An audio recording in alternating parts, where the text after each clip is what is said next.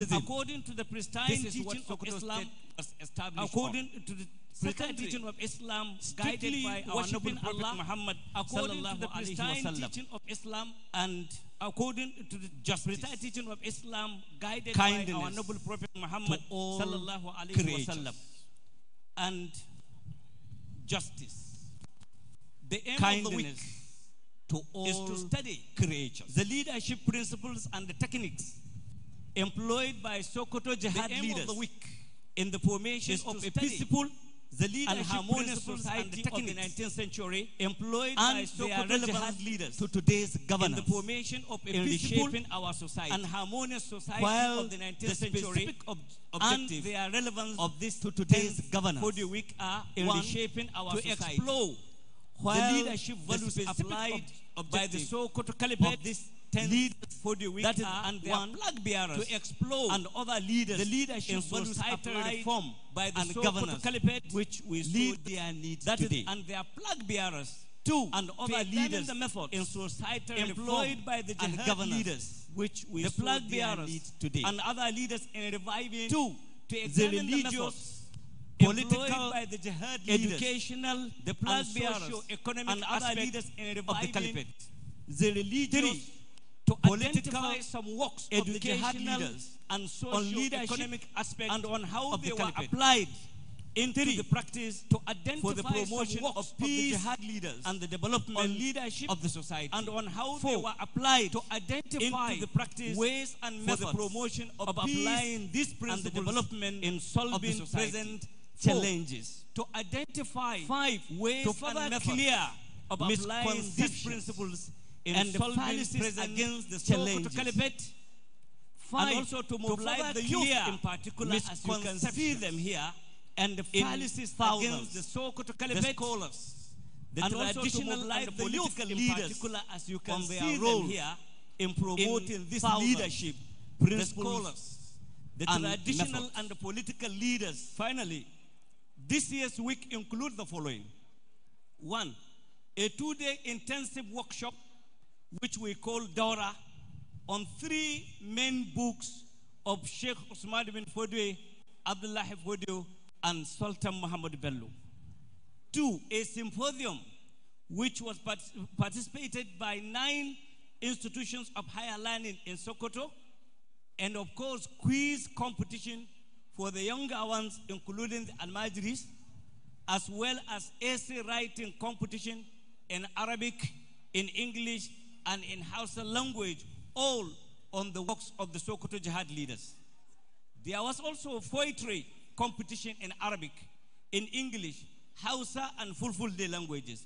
They were all organized for the Muslim youth in secondary schools, in tertiary institutions, as well as youth outside the formal system of education on some selected themes of the Sokoto Caliphate. Your Excellencies, Your Eminence, your royal fathers, I mean, your, uh, our royal fathers, and other distinguished personalities here present. There were live programs on NTA, Rima Radio, Rima FM, Garko FM, Alu Yagode FM, Bishan FM, Caliphate MF, FM, Royal FM, and some other media outlets, including live streaming on Facebook. The presence of the Dr. Zakir Naik has added color to the 10th Usman Fodio Week by televising some of the lectures to over 100 million listeners of, across the world.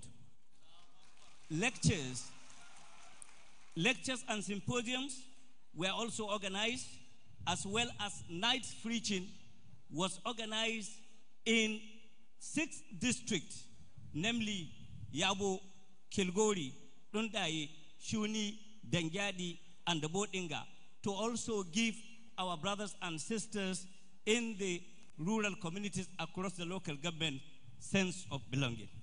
The presentation all highlighted the essence of the fear of Allah, applying justice in leadership and governance, as well as mass education as panacea to the challenges of insecurity, poverty, and all forms of the challenges we are facing today in our societies.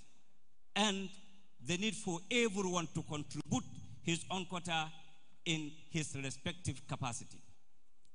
In the same vein, it's observed that the continued occupation and colonization of Palestine by the Zionist forces, as well as the ongoing genocide and ethnic cleansing happening in Gaza, where, where hospitals and innocent civilian buildings are targeted for destruction uh, using internationally um, are targeted for destruction using internationally banned weapons is a clear act of injustice which every Muslim, every Muslim and any peace-loving individual should stand against.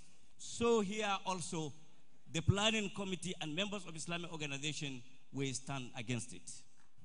We therefore call on the Nigerian government, the champion of anti-apartheid rule in Africa, in the 80s and the 90s, to sever its diplomatic relationship with apartheid regime, that is Israel, as done by Bolivia. We are grateful to His Eminence the Sultan of Sokoto, Alhaji Muhammad Saad Abu Bakr, CFR MNI, the Amirul Mu'mineen, and his council members for their support and guidance in planning, developing, and conducting the 10th edition of the Osman Fodio Week edition. We are particularly grateful for all your support and bearing the logistics of our keynote speaker, Dr. Zakir Naik, and his son, as well as his entire team, who also delivered yesterday a lecture at Usman Danfodiyo University. And today, Dr. Zakir Naik equally will deliver the most awaited lecture in Sokoto today, inshallah. Equally, we thank the institutions, we thank institutions for your continued support in the Sheikh Usman ibn Fodwe, as well as the distinguished personalities who were able to help us in all uh, our needs, uh, particularly in conducting the lectures and other activities. We use this opportunity as well to thank His Excellency, the Governor of Sokoto State, Alhaji Ahmad Aliyu, for hosting Dr. Zakir Naik yesterday and for giving us the enabling environment, including this center, to host the 10th Osman Fodio Week. Jazahullah khair. I also want to believe that everyone that is here, we may not be able to mention your name one by one, but we thank you. We all believe that all of us have come together under the ayah of Allah ta'awanu alal birri wat wa la ta'awanu alal ithmi wal udwan. Before I conclude, it is imperative to, on behalf of the organizing committee also, thank the Emir of Zazzau, who is to chair this occasion, and other distinguished personalities which I may not mention now, but His Eminence will mention them when their time comes. However, it may suffice to say we thank all our Royal Highnesses, the traditional rulers, our leaders of every uh, nooks and, and crannies that have found their way to this occasion. We thank you, the youth, for keeping the flag flying. And we also thank all the media houses and all the ulama and other distinguished personalities that has helped out. It is not easy. We have started this week almost three weeks ago. And we thank you for your support. And finally, I pray Allah subhanahu wa ta'ala, the Almighty, to reward whoever contributed in the success of this year's Usman Fodio Week and who helped Islam and the Muslim everywhere, anywhere, and at any time. Jazakumullahu khair. Assalamu alaikum wa rahmatullahi wa barakatuh. Alaikum assalam wa rahmatullahi wa barakatuh. Excellencies, permit me to invite His Royal Highness, the chairman of the occasion and the Emir of Zazzau, Ahmad Nuhu Bamalli, for his remarks. Allah ya taimaki sarki.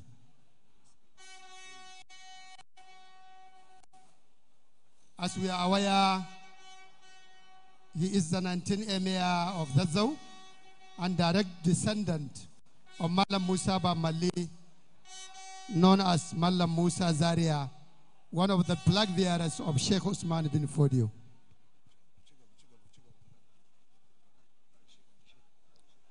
He was former Nigerian ambassador to the Kingdom of Thailand with concurrent accreditation to Myanmar.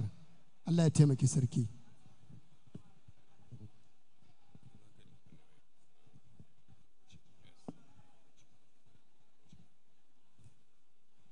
أعوذ بالله من الشيطان الرجيم بسم الله الرحمن الرحيم Your Eminence, the father of all, and the Sultan of Sokoto, Muhammad Saad Abu Bakr III, Your Excellencies, the Governor of uh, Kebbi State, Deputy Governor of Zamfara State, um, the representatives or the halifas of the flag bearers. I can see the Malam Dendo of Nupe. I can see the Nagwamatse of Kontagora and a host of other representatives of you know, the flag bearers of this um, revered caliphate. Ladies and gentlemen, Assalamu alaikum wa rahmatullahi ta'ala wa barakatuhu. This way, yeah? Um, permit me to stand on the existing protocol because I've seen quite a number of people here that I cannot um, recognize one after the other. So apologies to all of you, please. Um, yesterday, when I arrived in Sokoto here around half past four in the evening, um, I went straight to the accommodation provided. And while I was at the accommodation, I requested for a meeting with the um, with the representatives of the Mahajirun al Ansar, which was um, established. That is a committee or an association of the families of those that actually participated in the Battle of Tabkin Kwatto that led to the formation of this capital, which I have been a member for many years, representing my great grandfather, Malam Musa Bamalli, the flag bearer of Zazzau. Uh, we had a terrific meeting.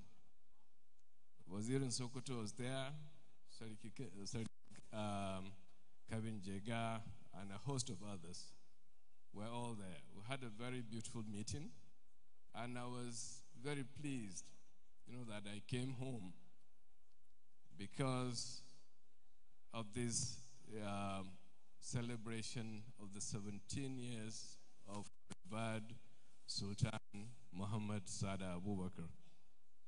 Um, I, and it also reminded me, you know, that this is how it was 200 years ago.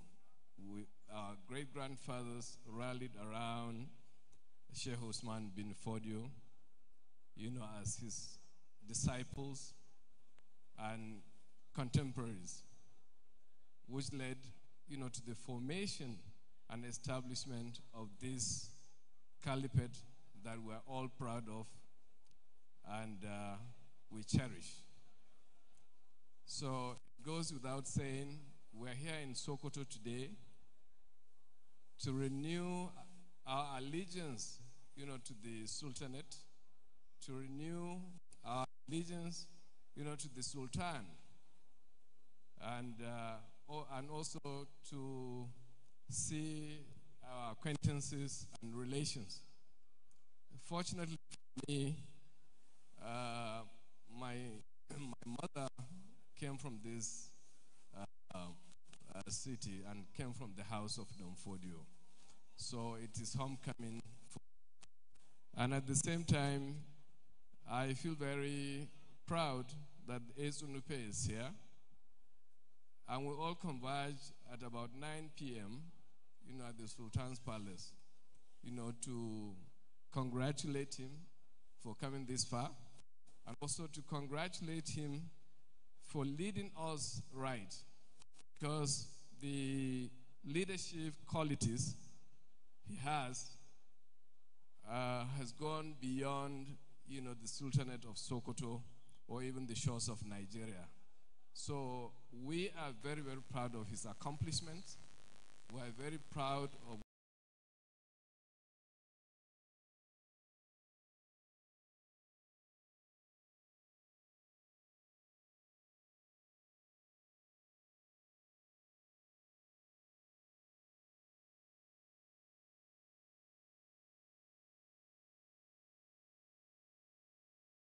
what he has achieved in these 17 years, and most especially, you know, the uh, publication and also translation of most of the books or works of Sheikh Usmanu, Muhammad Bello, Abdullahi Fodio, and Nana Asmau. So, Your Eminence, we're very grateful for what you have done and what you are doing and what you will continue to do.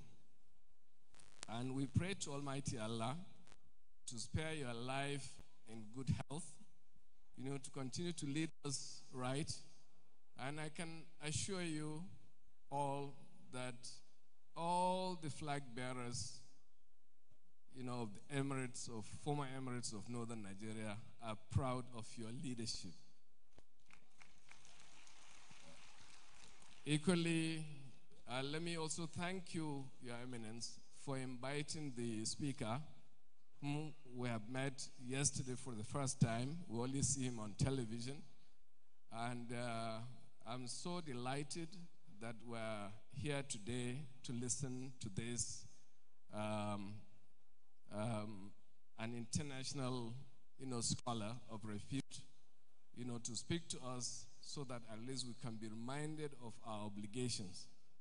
So with this, I'd like to say a big thank you for giving me the opportunity to chair this occasion today. I'm very proud of this. And also a big thank you, Your Eminence, for inviting us, you know, to come over to Sokoto, you know, to um, to socialize with you. We had a terrific dinner yesterday, and also today, you know, to be with all these dignitaries, men and women, uh, in this um, hall. So I wish us a very successful deliberation today, and also I wish all of us good stay here. And while going back, I wish each and every one of, us a safe journey back to our respective destination. Thank you very much. Alhamdulillah, Alhamdulillah, His Highness Ambassador Ahmad Nuhu Bamalli, Emir of Zazzau. Thank you once again.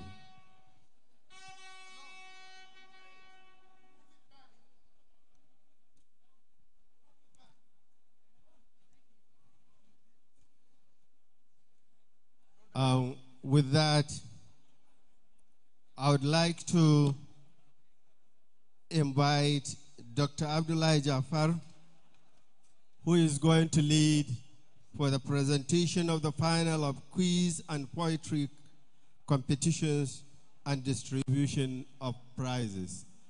Dr. Abdullah Jafar. Doctor, you are invited.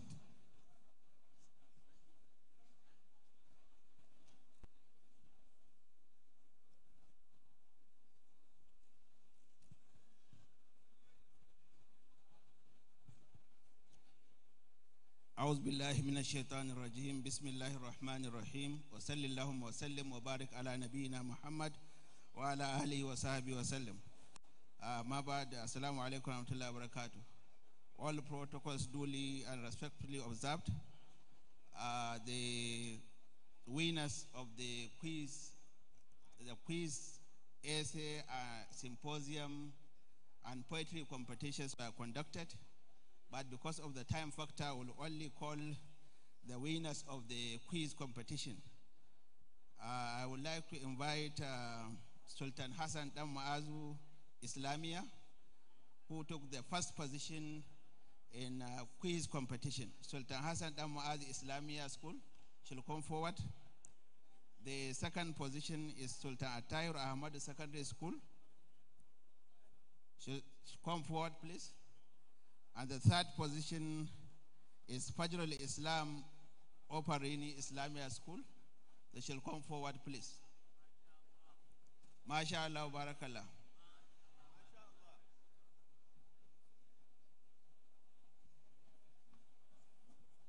Muna gayyatar makarantar Islamiyya na Sultan Hassan Dan Ma'azu su fito.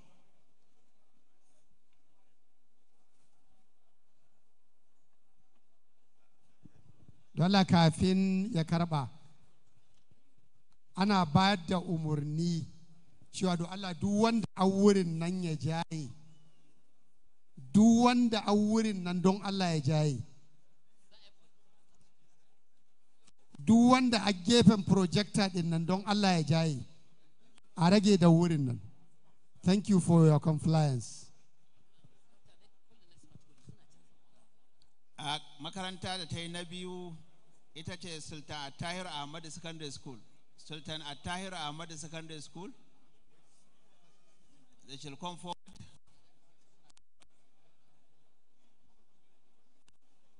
Makaranta na uku Fajr islam Kofar Rini. They shall come please. Ah, ana kiran waɗanda suka samu nasara amma da makarantarsu da sauran makarantun ne an yi tsit babu sha'a babu guda babu kururuwa. Ya kamata a gode ma Allah a daidai lokacin da aka ambaci kayi nasara. Don haka ko mu ce masha Allahu barakallah ko kuma mu yi takbir Allahu akbar. Bai kamata mu yi ba.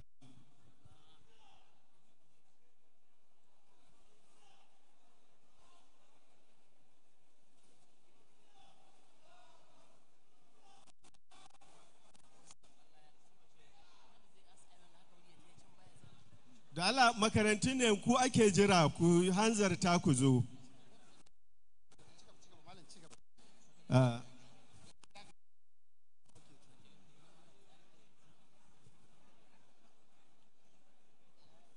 They will receive their prizes at the other side of the hall. The other side of the hall, please. Ba can za- ba can za a je ba su ba? Ah, Can za a je. Can za su je.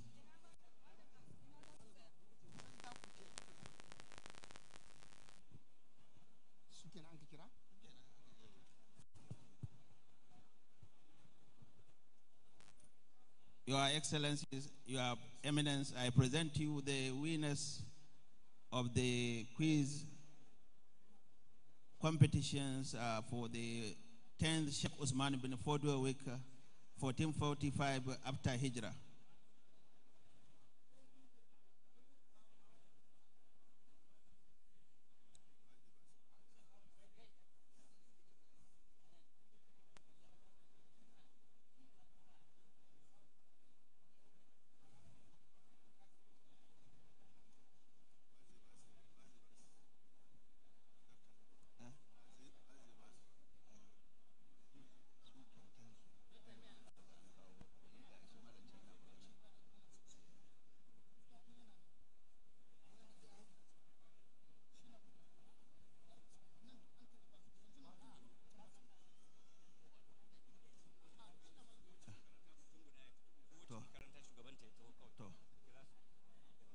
Am, let me invite one participant from each school.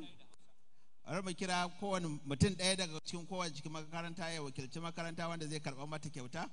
Saboda haka Sultan Hassan Ma'azi Islamiyya School, mutum guda ya fito ya wakilce su.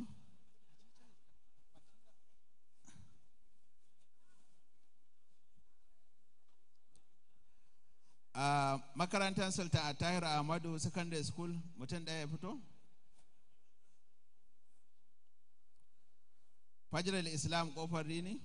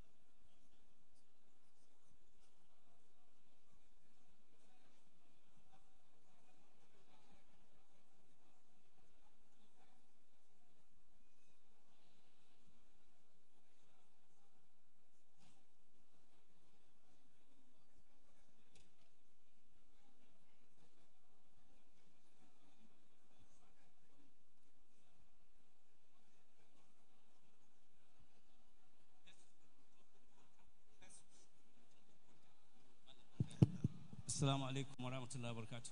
Muna ba mai alfarma haƙuri da sauran shugabanninmu da ke nan game da wannan tsari na kacici kacici da kuma insha'i da symposium da sauran abubuwan da aka yi saboda lokaci za a takaita kawai zuwa ga mutum makaranta guda wadda ta yi na ɗaya a wajen kacici kacici wadda yake ita ce sultan hassan dan mu'azu da na ɗai da na biyu da na uku daga cikinsu za su amshi kyauta daga mai alma sarkin musulmi da mai girma gabna na jihar kebbi da kuma jihar sokoto in allah ya yarda.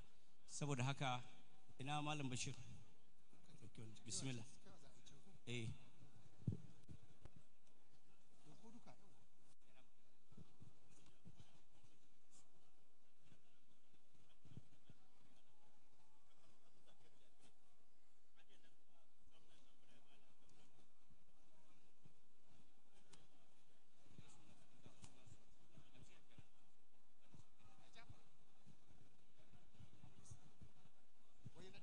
sultan hassan sultan hassan dan mu'azzez sultan hassan dan mu'azu islamiyya da eh?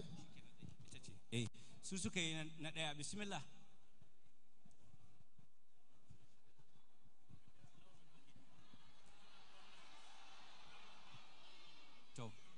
Muna kira ga mai girma gwamnan jihar kebbi ya ba kowane ɗaya daga cikinsu kyautar laptop wanda allah cishe su.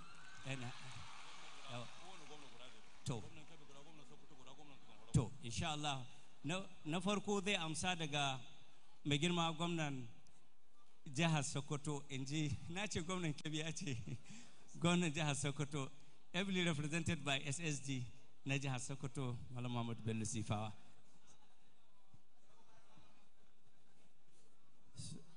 Bismillah da suna Allah mai rahama bai je kai ga kyautar mai arhama sarkin musulmi nan na wannan ah, hazaƙa da kuka yi. Allah ya saka da alheri.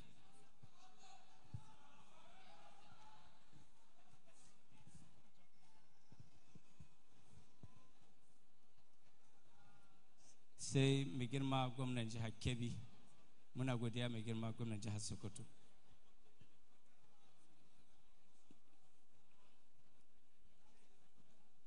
Masha Allah barakallah. Kyautar mai alhama sarkin musulmi kenan mai girma gwamnan jihar kebbi yake gabatarwa ga waɗannan ɗalibai da suka yi hazaka. Sai na ƙarshe mai girma mataimakin gwamnan jihar zamfara shi ma zai wakilci gwamnan jihar zamfara domin ya miƙa wannan kyauta zuwa ga waɗannan yaran da suka yi nasara a cikin wannan kacici-kacici na wannan shekara.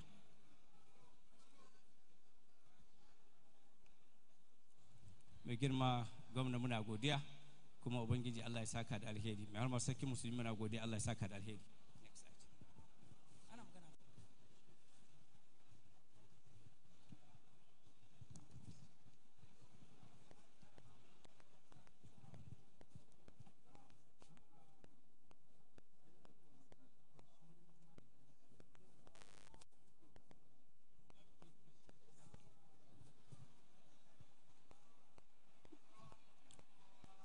Your Excellencies, permit me to invite the guest speaker for the day, an erudite scholar, Dr. Zakir Naik, for his lecture.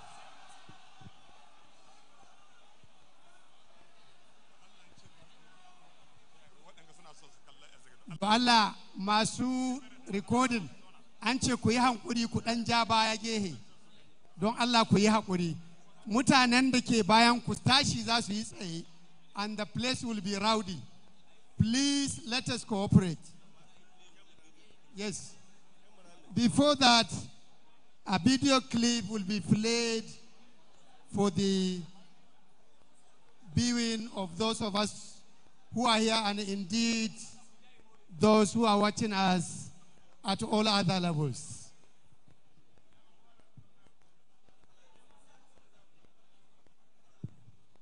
The cliff.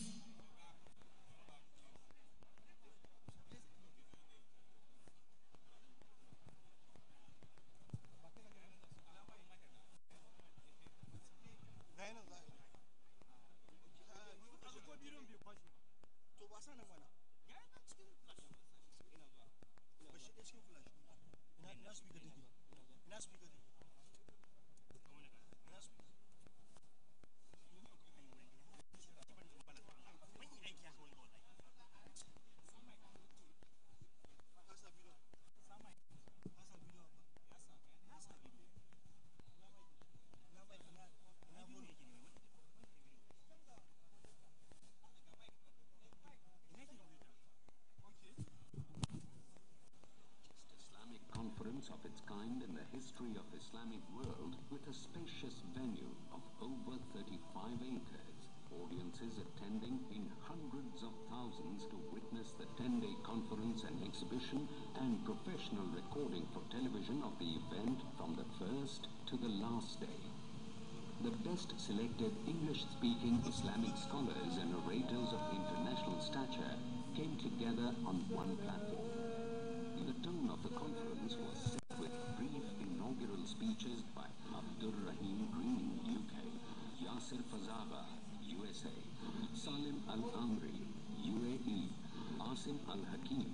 Saudi Arabia, Yusuf Estes, USA, Yasser Qadhi, USA, Hussein Yee, Malaysia, Fariq Naik, India, Dr. Jamal Badawi, Canada, Yahya Ibrahim, Australia, Arib Islam, South Africa, Saeed Rageah, Somalia, Dr. Lawrence Brown, USA, Dr. Jafar Idris, Sudan, Dr. Mamdouh Muhammad, USA, Haitham Al Haddad, UK, Dr. Zaghloul Al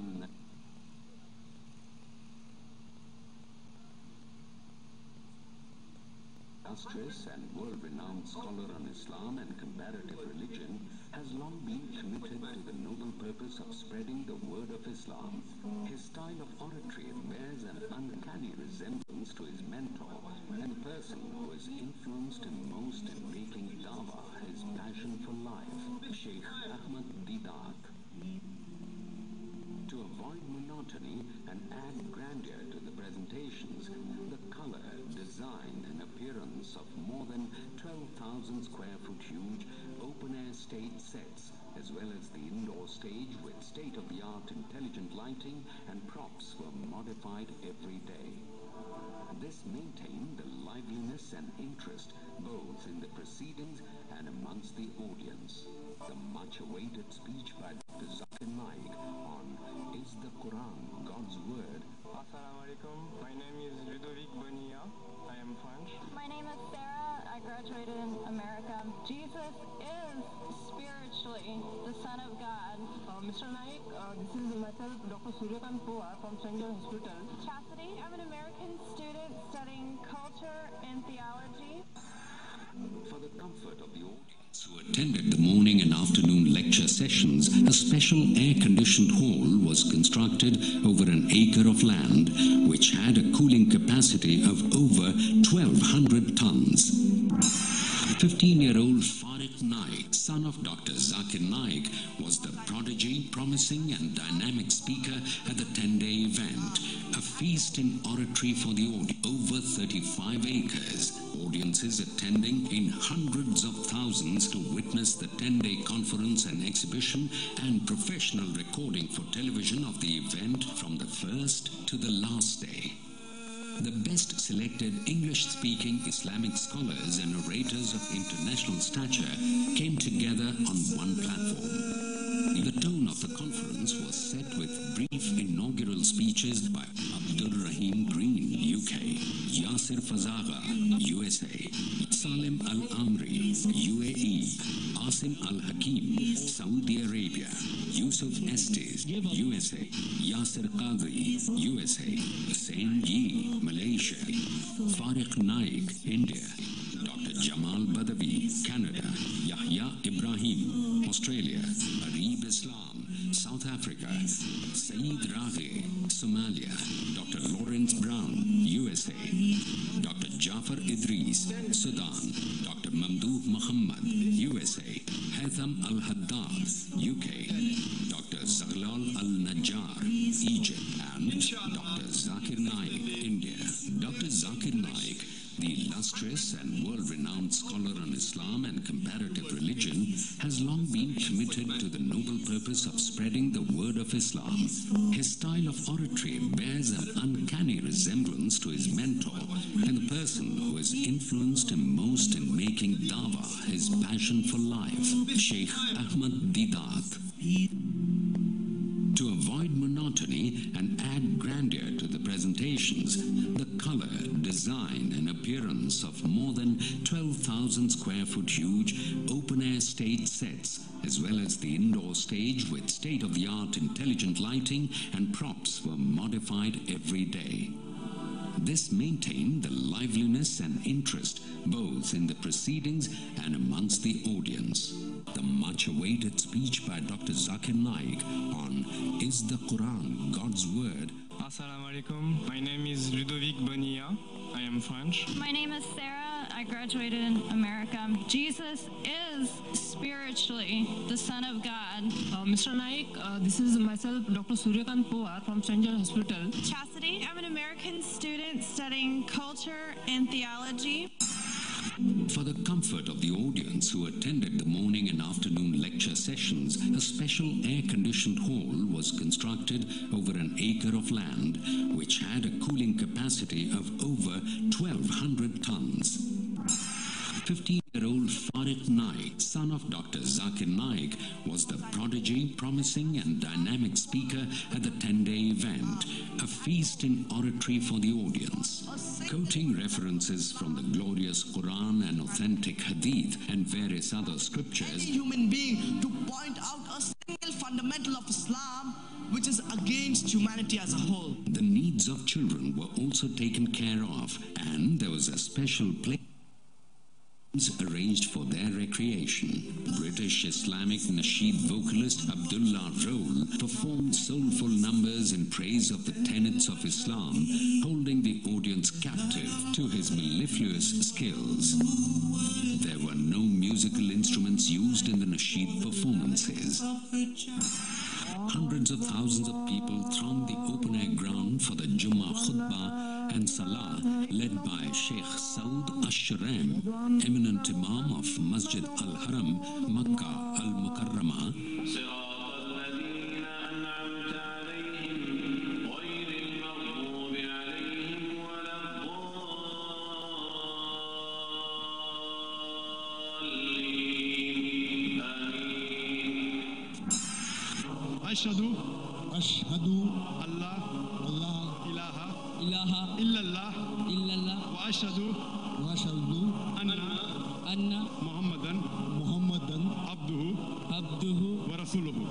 For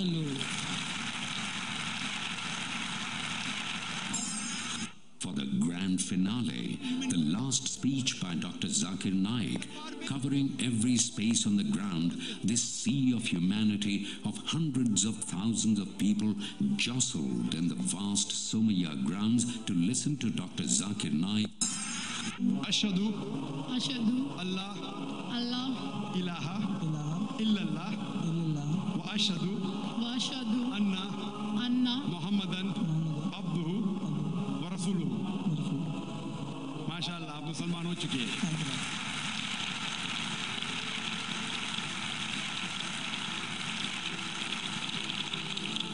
मेरा नाम संतोष सिंह है। मैं इस्लाम कबूल करना चाहता हूँ। मेरा नाम ईशा है।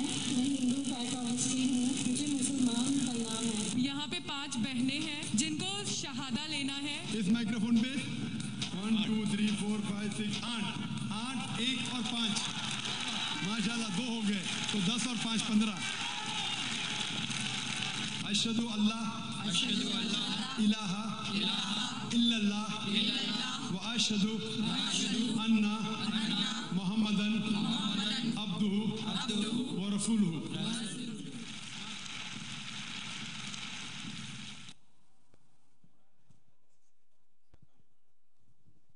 With this, on behalf of the organizers, I will invite Dr. Zakir Naik to present his lecture titled Quran, the Global Necessity. فليتفضل مشكورا مأجورا إن شاء الله.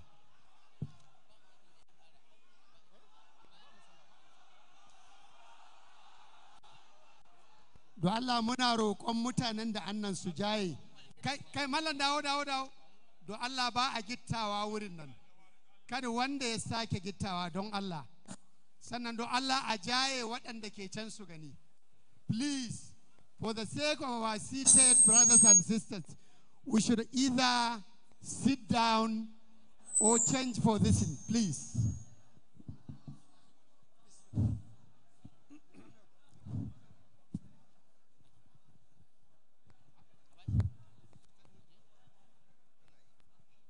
Alhamdulillah. Alhamdulillah. Wassalatu wassalam. Ala Rasulillah wa ala ali wa sahbihi ajmain. Amma ba'd. أعوذ بالله من الشيطان الرجيم بسم الله الرحمن الرحيم وقل جاء الحق وذاق الباطل إن الباطل كان زهوكا رب اشرح لي صدري ويسر لي أمري واحلل عقدة من لساني يفقهوا قولي The Honorable Sultan Muhammad Abu Bakr, the Sultan of Sokoto, and the religious leader of more than 100 million Muslims of Nigeria, the governors, the respected dignitaries, and my dear brothers and sisters. I welcome all of you with the Islamic greetings. Assalamu alaikum wa rahmatullahi wa barakatuh. May peace, mercy, and blessings of Allah subhanahu wa ta'ala be on all of you. Before I start my presentation of the day, I would like to speak for a few minutes regarding our dear brothers and sisters in Palestine. Most of us are, most of us are aware of the history of Palestine. Hitler incinerated six million Jews. It was a Holocaust. Many of these Jews, they took shelter in Palestine. And our Muslim brothers in Palestine, they welcomed them with open hearts. They welcomed their cousins, the Jews, with open hearts. Come and take shelter in our home. They welcomed them. But what happened? Many years later, these same people who were welcomed by the Muslim brothers in Palestine, they take them out of their own home. They occupy their home. And when the Muslim brothers are crying, please give our home back, they are calling them as terrorists.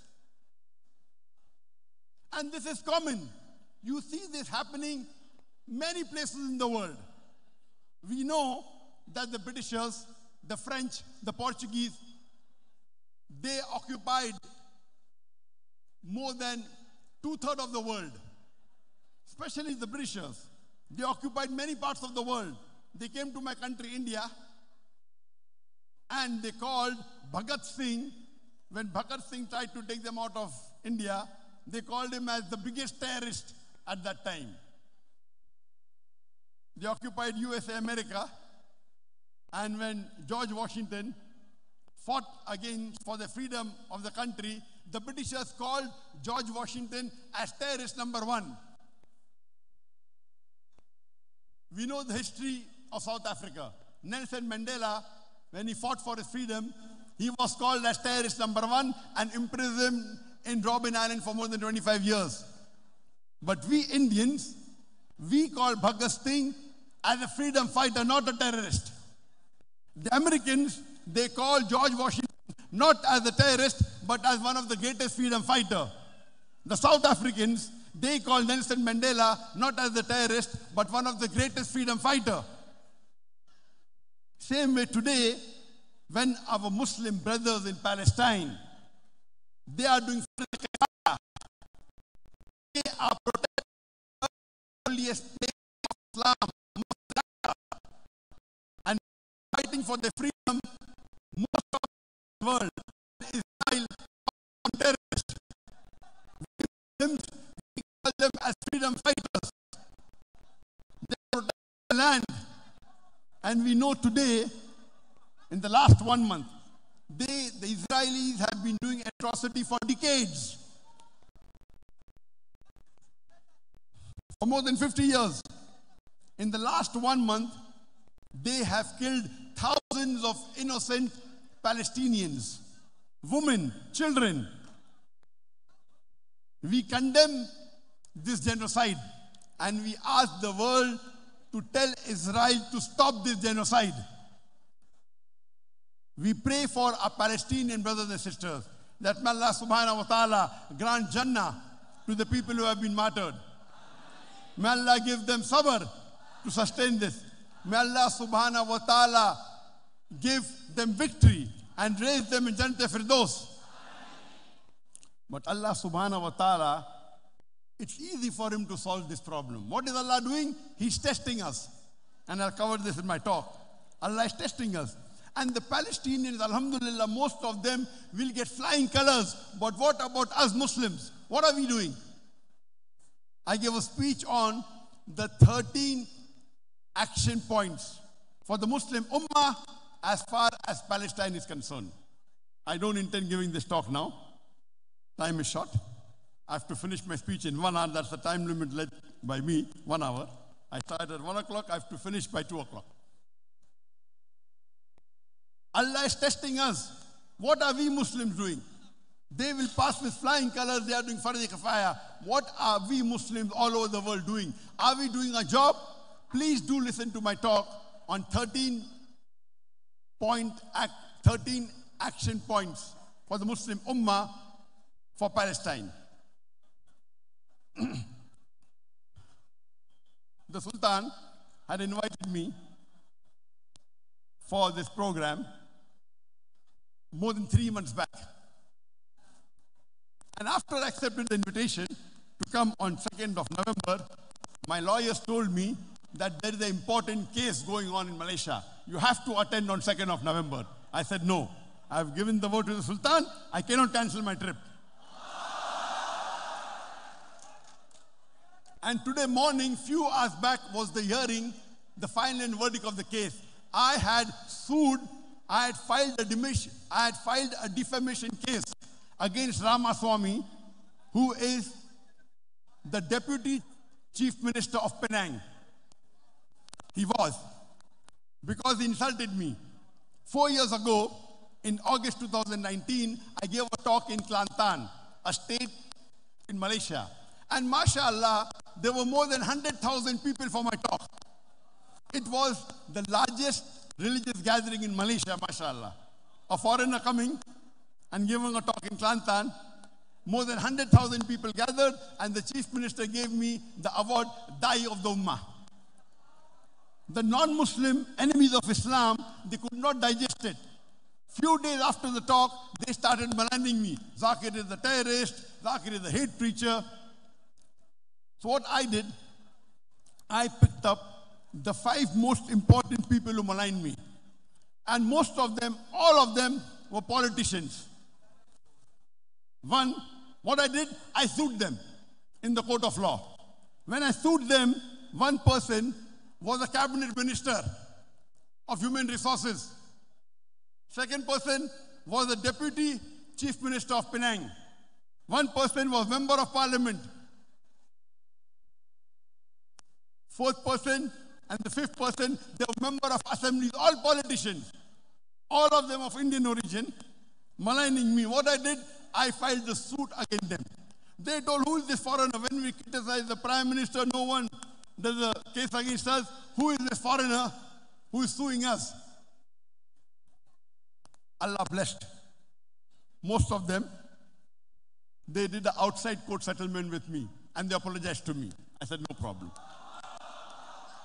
But the biggest enemy of Islam, who I call, I did not forgive him. I said, we let the court case go on. The court case went for two years, and today morning was the verdict. Today morning, few hours before the verdict was there, and the judge told told Ramasamy, who was at that time the deputy chief minister of Penang, to pay a fine of 1.52 million Malaysian ringgit to Dr. Zakir Naik as compensation. 1.52 Malaysian ringgit is equivalent to 320,000 US dollars. It is equal to 383 million naira. If one dollar is 1,200 naira, then the judge of High Court ordered Ramasamy to pay Dr. Zakir Naik within 30 days 1.52 million ringgit, which is equal to 320,000 US dollars, which is equal to 383 million naira. And I today, I pledge this amount, this complete amount for the cause of Palestine. I want to donate this full amount.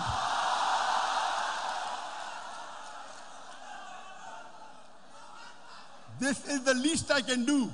This complete amount of 1.52 million ringgit, 320,000 US dollars, 383 million naira, I pledge it as a donation to the Palestinian cause for our brothers and sisters in Palestine. I pray to Allah subhanahu wa ta'ala. And this verdict just came few hours before, today early morning. I pray to Allah subhanahu wa ta'ala that may He grant the martyrs Jannat Firdaus. May He give sabr to the brothers and sisters in Palestine. May He give them istiqamah. And inshallah, inshallah, victory will be ours. Surely, Allah is testing us. Are we following the Quran or not? Today, the topic of my presentation. First, I'd like to thank the Sultan to invite me as the guest speaker for the closing ceremony of the 10th Sheikh Usman bin Fodio week, 1445 after Hijri, which is 2023 Christian era. I would like to thank him. It's a pleasure and honor for me to come here to the state of Sokoto. It is the second time I'm coming to Nigeria after 10 years, and this is the first time I'm coming to the state of Sokoto. And I'm really impressed. I'm really impressed by the state of Sokoto, mashallah. I'm told more than 99% are Muslims. And I'm happy to meet the leader of more than 100 million Muslims in Nigeria, the Sultan of Sokoto. The topic of today's presentation is Al Quran, the global necessity. Al Quran is the last and final revelation of Allah subhanahu wa ta'ala, which was revealed to the last and final messenger, Prophet Muhammad, peace be upon him.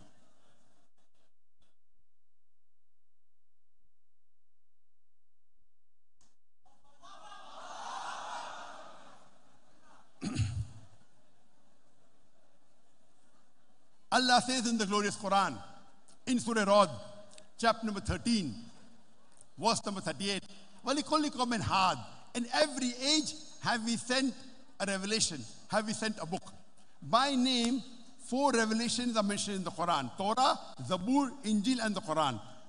Torah is the wahi which was given to Prophet Moses, peace be upon him. Zabur is the wahi which was given to David, peace be upon him. Injil was wahi, the revelation given to Jesus, peace be upon him. Glorious Quran is the last and final revelation given to the last and final messenger, Prophet Muhammad, peace be upon him. But there were many other revelations besides this. For example, Suhuf Ibrahim and many others. As the Quran says, in every age have we sent revelation. But all the revelations that came before the Quran, they were meant only for a particular time period and was meant only for a particular period.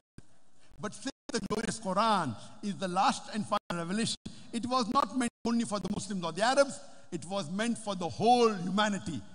And it is meant till the last day of judgment. Allah says in the glorious Quran, in Surah Ibrahim, chapter number 14, verse number 1, Alif Lam Ra. We have given this book to thee, Prophet Muhammad, peace be upon him, to guide humanity from darkness to light. Not to guide the Muslims or the Arabs, but to guide the whole of humanity from darkness to light. Allah says in Surah Ibrahim, chapter number 14, verse number 52, Here is the message for mankind. Let them take warning therefrom. Let them know there is one God. Let the men of understanding take heed. Allah repeats the message in Surah Baqarah, chapter 2, verse number 185. Ramadan is the month in which the Quran was revealed as a guidance to humanity. Allah repeats the message in Surah Az-Zumar, chapter 39, verse 41. That this is a message given to thee to instruct humankind. Given to Prophet Muhammad not to instruct only the Muslims or the Arabs, but to instruct the whole of humanity. This glorious Quran was revealed for the whole of humanity. The glorious Quran, it is the future world constitution. It is the most positive book in the world. It is a proclamation to humanity. It is a fountain of mercy and wisdom. It's a warning to the heedless. It's a guide to the erring. It's an assurance to those in doubt. It's a solace to the suffering. It's a hope to those in despair. Because the Quran is the future world constitution, it is a global necessity. Because the Quran is the most positive book in the world, the Quran is a global necessity. Because the Quran is the proclamation to humanity, the glorious Quran is a global necessity. Because the Quran is the fountain of mercy and wisdom, Al Quran is a global necessity. Because the Quran is a guidance to humanity, it is a global necessity. Because the Quran is a warning to the heedless, the glorious Quran is a global necessity. Because the Quran is an assurance to those in doubt, Al Quran is the global necessity. Because the Quran is a solace to the suffering, Al Quran is a global necessity. Because the Quran is a hope to those in despair, Al Quran is a global necessity.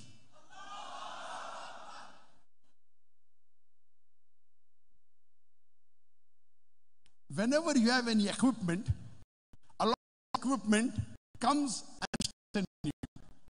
the more equipment, the more of an instruction manual. So that how to use equipment. If you allow me to call a human being a machine, I would say it is the most complicated in the world. It is more complicated than the highest computer in the world. Don't you think we require a?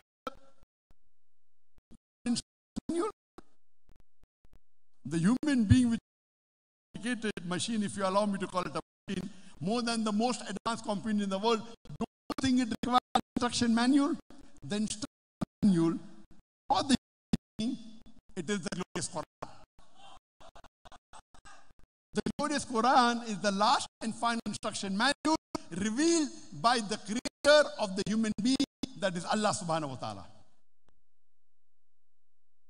Allah says in the glorious Quran, in Surah Mulk, chapter number 67, verse number 2, Alladhi khalaqal mawta wal hayata. It is Allah who has created death and life to test which of you is good in deeds. As I told you earlier, that Allah is testing us. For Allah, it's very easy. For Allah to make the Palestinian win over Israel, it's kun fayakun. Allah is testing us. Are they struggling and striving for the cause of Allah? Allah is testing all the human beings in the world. Are you standing for the truth? So, this life, according to the glorious Quran, is a test for the hereafter. If we pass this test, we go to Jannah, paradise. If we fail, we go to hell, we go to Jahannam. Allah says in the Quran, in Surah chapter number 51, verse number 56, "Jinna wal insa illa liya'budun." that we have created the jinn and the human beings not to worship me. What is the purpose of our life? Why are we here?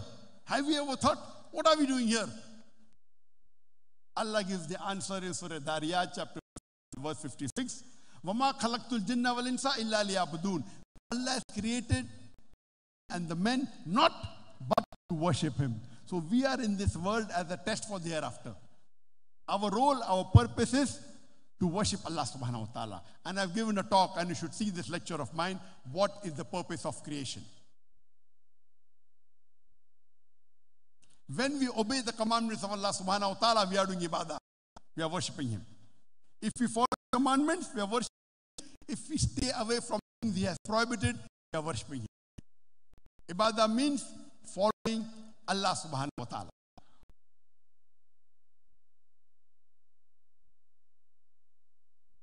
First, we have to understand the concept of Allah subhanahu wa ta'ala. And I'll be dealing in detail in my talk on Friday, Halloween, the concept of God and major world religion. But the best reply that any Muslim can give you regarding the definition of Allah subhanahu wa ta'ala is Surah Ikhlas, chapter number 112, verse number 1 to 4, where Allah says, Qul huwallahu ahad. Say He's Allah one and only. Allahu samad. Allah the absolute and eternal. Lam yalid wa lam yulad. He begets not nor is he begotten. Walam yakul lahu kuffan ahad. There's nothing like him. This is a four-line definition of Allah subhanahu wa ta'ala mentioned in the Quran in Surah Ikhlas, chapter number 112, verse number 1 and 4. Verse number 1 to 4. If any person says so and so entity is God, if he fits in this four-line definition, of Surah Ikhlas, we Muslims have no objection in accepting that entity as Allah, as God. The first is, Qul huwallahu ahad. Say He's Allah one and only. Number two, Allahu samad. Allah, the absolute and eternal. Lam yalid wa lam yulad. He begets not nor is he begotten. Walam yakul lahu kufuwan ahad. There's nothing like him. This Surah Ikhlas is the touchstone of theology. It is the touchstone of theology. Theo means God, logi means study, theology, study of God. And touchstone, you know, when you go to buy and sell gold jewelry, you go to a goldsmith and you want to verify how pure is the gold. So the goldsmith takes the gold and rubs it against the touchstone. And depending upon the color, he tells you whether this gold is 24 karat gold, whether 22 karat gold, whether 18 karat gold, or it may not be gold at all because all that glitters is not gold. So Surah Ikhlas is the touchstone of theology. The God you are worshipping, you put into the test of Surah Ikhlas. If the God you are worshipping passes the test of Surah Ikhlas, he is a true God. If he fails the test, he is a false God. You know, there are some people, some human beings, who say, who claim Bhagwan Rajneesh to be God. Some people, I didn't say Hindus, Hinduism doesn't say that Bhagwan Rajneesh is God, but there are some human beings, many of them, who claim Bhagwan Rajneesh to be God. Let's put this Bhagwan Rajneesh to the test of Surah Ikhlas.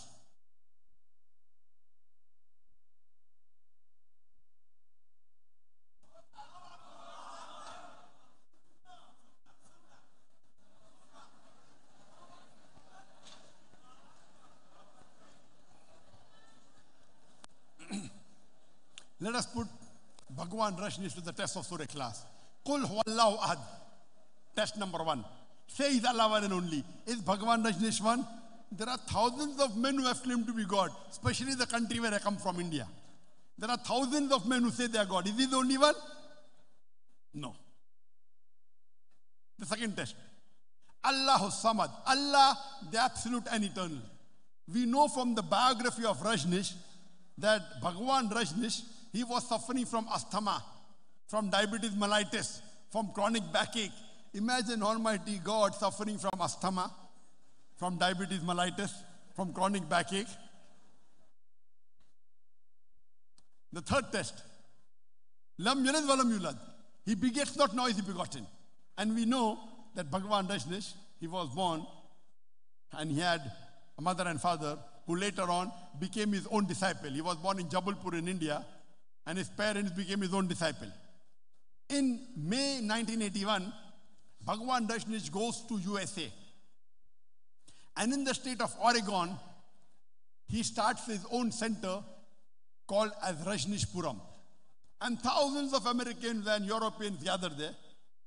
Later on, the American government arrests him and puts him in prison. Bhagwan Rajneesh claims that the American government gave me slow poisoning instead. In the prison, the American government gave me slow poisoning. Imagine Almighty God me slow poisoning. And later on, in 1985, he's kicked out of America and he comes back to India. And in the city of Pune, in the state of Maharashtra, where I live, in the city of Pune, he starts the center, Neo Sannyas. And later on, he calls the Osho Commune. If you go to a center Osho Commune, it has thousands of Europeans and Westerners from all over the world. When you go to his Osho Commune, in his Samadhi, you know, when the Hindus die, they put the ashes and they make a Samadhi.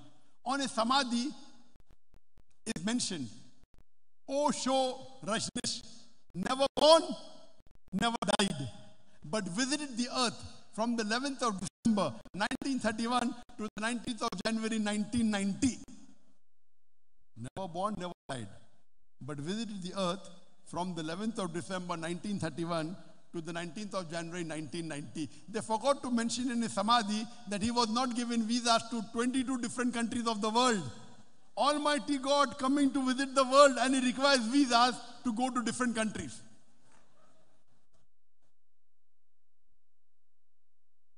And the Archbishop of Greece said, if you don't take out Rajneesh and his followers from this country, we'll burn his house and the house of his disciple. And the last test, the fourth test, is so stringent that no one beside true Allah subhanahu wa ta'ala can pass. There's nothing like him. The moment you can compare God to anything in this world, he's not God. We know Rajneesh, like the normal human beings. He had two hands, two legs, one nose, two eyes, long beard. The moment you can compare God to anything in this world, He is not God. Suppose someone says that Bhagwan, suppose someone says that God is thousand times stronger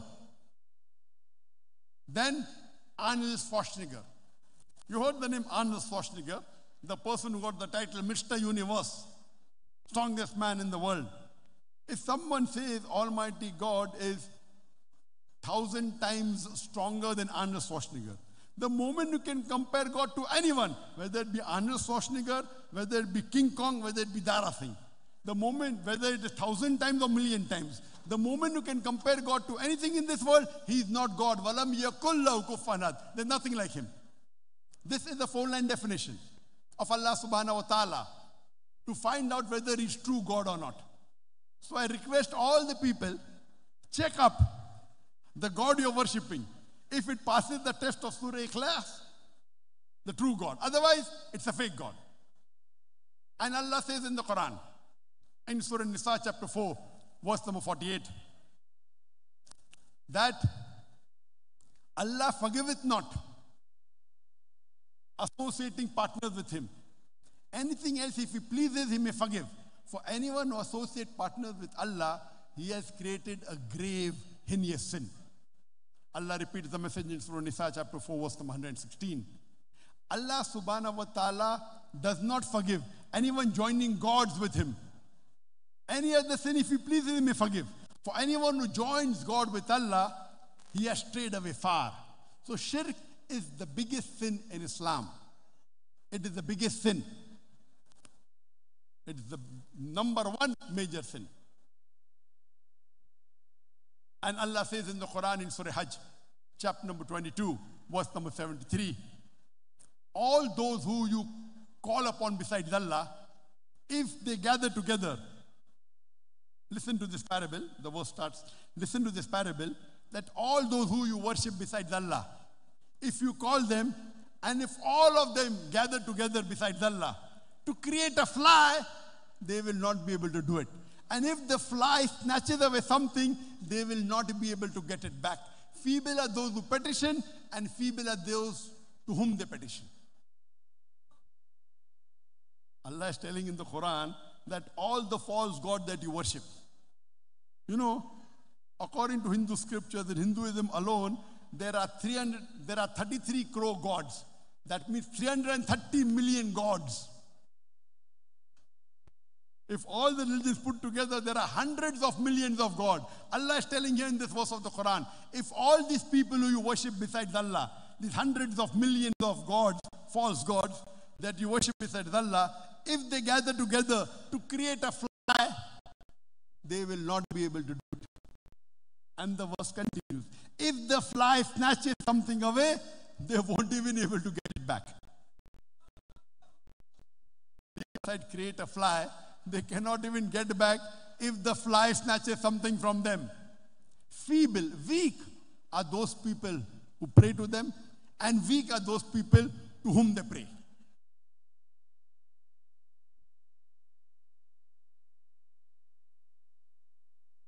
Because the glorious Quran explains to us the concept of true Allah subhanahu wa ta'ala. Al Quran is a global necessity. The Quran talks about salah. In English, people normally translate salah as prayer. Prayer, if you open the dictionary, means to beseech, to ask for help. According to me, prayer is not the appropriate translation of the Arabic word salah. What we do dua after the salah, that is prayer. The salah is far superior to praying. In the salah, besides asking for help, we are getting guided by Allah subhanahu wa ta'ala. The Arabic word salah comes from the root word salah, means connection. The servant connects with Allah subhanahu wa ta'ala. So salah means connecting to God. I call it the programming towards righteousness. When we pray, we read Surah Fatiha. After that, Imam is telling us, He's giving us guidance. Don't lie, don't cheat. Five times a day, we are being programmed towards righteousness. Allah says in the Quran, in Surah An-Kabut, chapter 29, verse 45, Utlu, utlu ma uhiya ilayka kitab واقم الصلاة إن صلاة تنهى عن الفحشاء والمنكر recite of what we have revealed to thee of the Quran and establish salah. For salah restrains you from shameful and unjust deed. That means salah keeps you on the straight path. It prevents you from shameful and unjust deed. It prevents you from sin. So if you offer salah correctly, you will be on the straight path. Because salah, because the Quran teaches us about salah, the Quran is a global necessity. The Quran speaks about zakat. It is the third pillar of Islam that every rich human being, every rich Muslim who has a saving of more than the nisab level, more than 85 grams of gold, he or she should give 2.5% of that excess wealth every lunar year in charity. If every rich human being in the world gives zakat, gives this 2.5% charity, poverty will be eradicated from this world. There will not be a single human being who will die of hunger.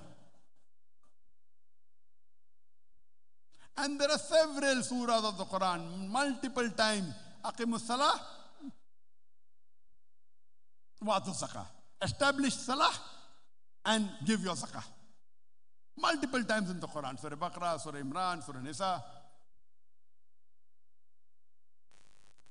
The Quran talks about the fourth pillar of Islam, Sawm. That every adult Muslim who has the health and is not traveling, it's compulsory that he fasts in the month of Ramadan. He abstains from drinking or eating food and sex from dawn till sunset in the complete month of Ramadan. I call Ramadan as the overhauling of the human body. Like when you have car or motorcycle, you require to service it. Maybe every six months, every year. Similarly, if you call this human being a machine, it requires servicing at least once a year for one month. If you can abstain from smoking from dawn to sunset, you can very well abstain from smoking from the cradle to the grave. If you can abstain from drinking alcohol from dawn to sunset, very well you can abstain from having alcohol from the cradle to the grave. Ramzan is a month which encourages you to come closer to Allah subhanahu wa ta'ala. It encourages you to do good deeds and it encourages you to stop the evil deed. Allah says in the Quran in Surah Baqarah chapter 2 verse number 183, Ramadan, Allah says in Surah Baqarah chapter 2 verse 183, that fasting was prescribed to you as it was prescribed to people before you so that you may learn self-restraint, so that you may learn taqwa, so that you may learn God consciousness, so that you may learn piety. So the main reason our Creator Allah subhanahu wa ta'ala has prescribed us to fast for one month in the month of Ramadan is so that we attain taqwa, righteousness, God consciousness, piety. The glorious Quran speaks about the fifth pillar, that is Hajj. It is compulsory for every adult Muslim who has health and has the economic means that at least once in his lifetime he should perform Hajj, the pilgrimage, in the month of Hajj from 8th to the 13th of Zilhijjah and travel to the city of Makkah, the state of Makkah, Mina, Arafah, Muzdalifah, back to Mina and Makkah in these six days from 8th to the 13th of Zilhijjah. And there's a full surah by the name Surah Hajj, chapter 22 in the Quran. And this Hajj is the biggest annual gathering in the world, where more than 4 million people gather from different parts of the world. From USA, from Canada, from UK, from Pakistan, from India, from Saudi Arabia, from Nigeria, from Ghana, from different parts of the world. And the men, they're dressed in two pieces of unsewn cloth. You cannot identify the person next to you whether he's a king or a pauper. All equal in the sight of Allah. Labbaik, Allahumma labbaik. Labbaik, Allahumma labbaik. Here I am, O my Lord, at your service. It is the best example of universal brotherhood in the world. Whether black or white, yellow or brown, two pieces of unsewn cloth, all equal in the sight of Allah. Because the glorious Quran teaches us about Salah, about Sawm, about Zakat, about Hajj. I say Al Quran is a global necessity. The Quran gives us the criteria for a person to go to Jannah, to attain salvation. Allah says in Surah Al-Asr, chapter number 103, verse number 1 to 3, Wal Asr, Innal insana lafi khusr, illa alladhina amanu, wa aminu salihati, wa tawasaw bil haqqi, wa tawasaw bil sabr. That by the token of time, man is verily in a state of loss, except those who have faith. Those who do righteous deed, and those who exhort people to patience and perseverance. Those who have faith, those who have righteous deed, those who exhort people to truth, and those who exhort people to patience and perseverance. These minimum four criteria are required for any human being to go to, go to Jannah. Number one is Iman, having faith. Number two, Amal Salihat, righteous deed. Number three, Watawasaw bil Haq, inviting people to truth, doing dawa and islah. And number four, Watawasaw bil Sabr, inviting people to patience and perseverance. If any one of these criteria is missing, under normal circumstances, you shall not go to Jannah. All four criteria are equally important Iman, righteous deed, dawa, and inviting people to patience and perseverance. So, Quran gives the formula to attain Jannah, to go to paradise. Because Quran gives you the formula to go to Jannah, to attain paradise, I said Al Quran is a global necessity. Our beloved Prophet Muhammad said, it's mentioned in Sahih Muslim, volume number 7, hadith number 7417. The Prophet said, This world is a prison for the believers, and it is paradise for the unbelievers. There's incidents that once Hafiz Ibn Hajar Asqalani, may Allah have mercy on him, he was a great scholar. He wrote the Sharah of Bukhari, the second most important book after the Quran. When he was going in the marketplace with his entourage, he was the chief Qazi, and people, a poor Jew, he comes and he catches the mule of Hafiz ibn Hajar Asqalani, Rahimullah. And he tells him, I heard that your prophet said, this world is a prison for the believers and it is paradise for the unbelievers. You, you are so rich, you are leading a luxurious life. I am a poor man. He was wearing torn clothes. How can you explain the hadith of your prophet that this world is a prison for a believer like you who are so rich and living comfortably, and it's a paradise for a poor person, unbeliever like me, who's poor with torn clothes? The Hafiz ibn Hajar Asqalani says that I know what's going to happen in the future. And I know that in Akhirah, in the next life, for the believers, we will get paradise. And if you compare the Jannah to this world, what I'm living, compared to the Jannah, it is billion times better. This world with all the wealth is a present. And I know the unbelievers like you who do not believe in Allah, in the next life they will go to Jahannam. And the Jahannam will be so bad that even if you are the poorest man in the world, if you compare to Jahannam, your this life will be like paradise compared to Jahannam. So this is the explanation of the hadith of the Prophet Muhammad of Sahih Muslim, volume 7, hadith number 7417, that you may be the richest man in the world, you may have the maximum luxury, but compared to the luxury of Akhirah in Jannah, it will be a billion times better. so if you compare the difference between the poorest man who goes to Jannah and the richest man in the world going to Jannah, the difference is very less. So this world, you should not be bothered whether you're poor or rich, whether you're a king or a pauper. You should be bothered that you pass the test. Because the Jannah And the Prophet said it is more easier for the poor man to go to Jannah than a rich man. Because the rich man has to give hisab kitab. He has to give accountability of everything. More difficult. so comparatively, it is billion times better than the richest man in the world. And compared to the poor man also it is a billion times, hardly any difference. And the Jannam is so worse, the description given in the Quran and the Hadith. Even if you are the poorest man in this world, it will be like paradise. The fire, when it comes on your feet, your brains will boil. Can you believe? So, this is the explanation. And this Quran, it prevents you to going from Jahannam, going to Jahannam and encourages you to go to Jannah. That is the reason I call the glorious Quran a global necessity.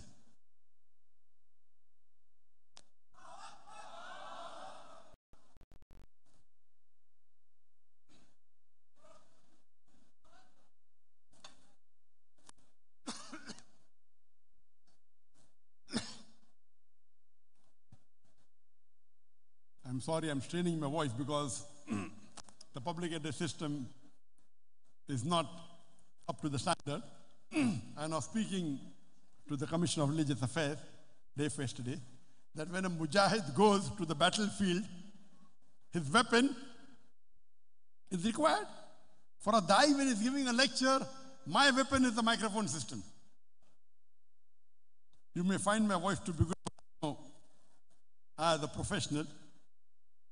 I'm, if I modulate better, the impact of my lecture becomes 10 times more, 50 times more.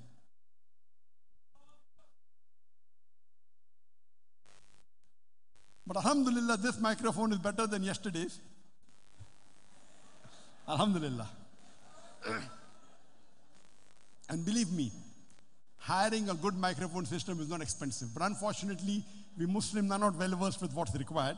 Inshallah, we will educate ourselves. And I gave a talk to the Dais of Sokoto, more than 100 were there, mashallah. It was wonderful meeting them, mashallah. Now, continuing with the talk, the glorious Quran has the solutions to the problems of humankind. Because the glorious Quran has the solution to all the problems of humankind, I say Al Quran is a global necessity. Al Quran is the Furqan. Allah refers to the Quran as Furqan, the criteria to judge right from wrong. Al Quran has the solution to the problem of racism. One of the biggest problems in the world today is racism. Allah gives the solution in Surah Hujurat, chapter number 49, verse number 13. Allah says, Ya ayyuhan nasu inna khalaqnakum min dhakrin wa untha wa jalnakum شعوبا وقبائل لتعرفوا إن أكرمكم عند الله يتقاكم إن الله عليم خبير Oh humankind, we have created you from a single pair of male and female and have divided you into nations and tribes so that you shall recognize each other. Not that you shall despise each other. And the most honored in the sight of Allah subhanahu wa ta'ala is the person who has taqwa, who has God consciousness, who has piety, who has righteousness.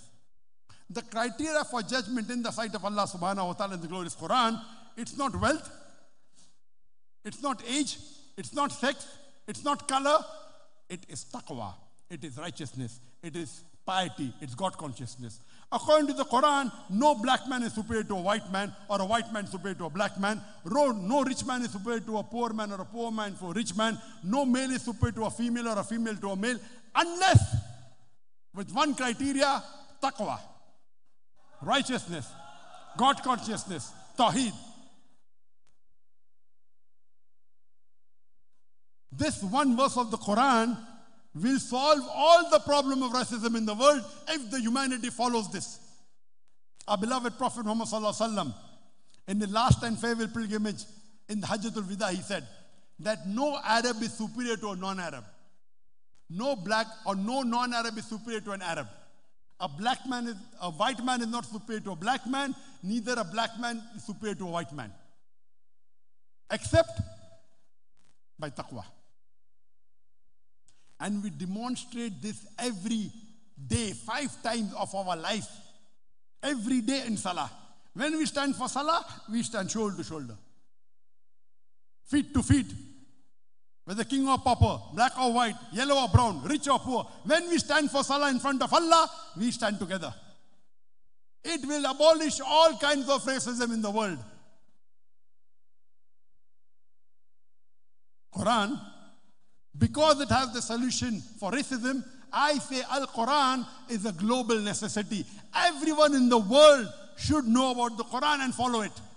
Then only will there be peace. Al Quran has the solution to terrorism. One verse of the Quran is sufficient for the major solution of terrorism. Allah says in the glorious Quran, in Surah Maida, chapter number 5, verse number 32.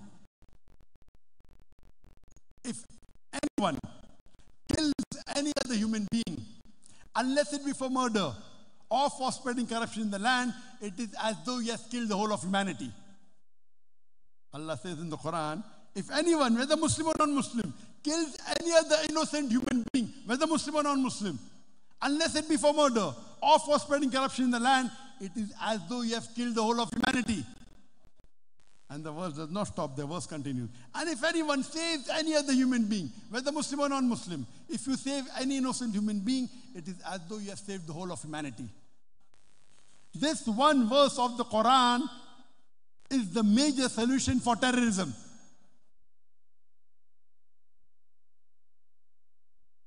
The Israelis, they are killing thousands of innocent human beings.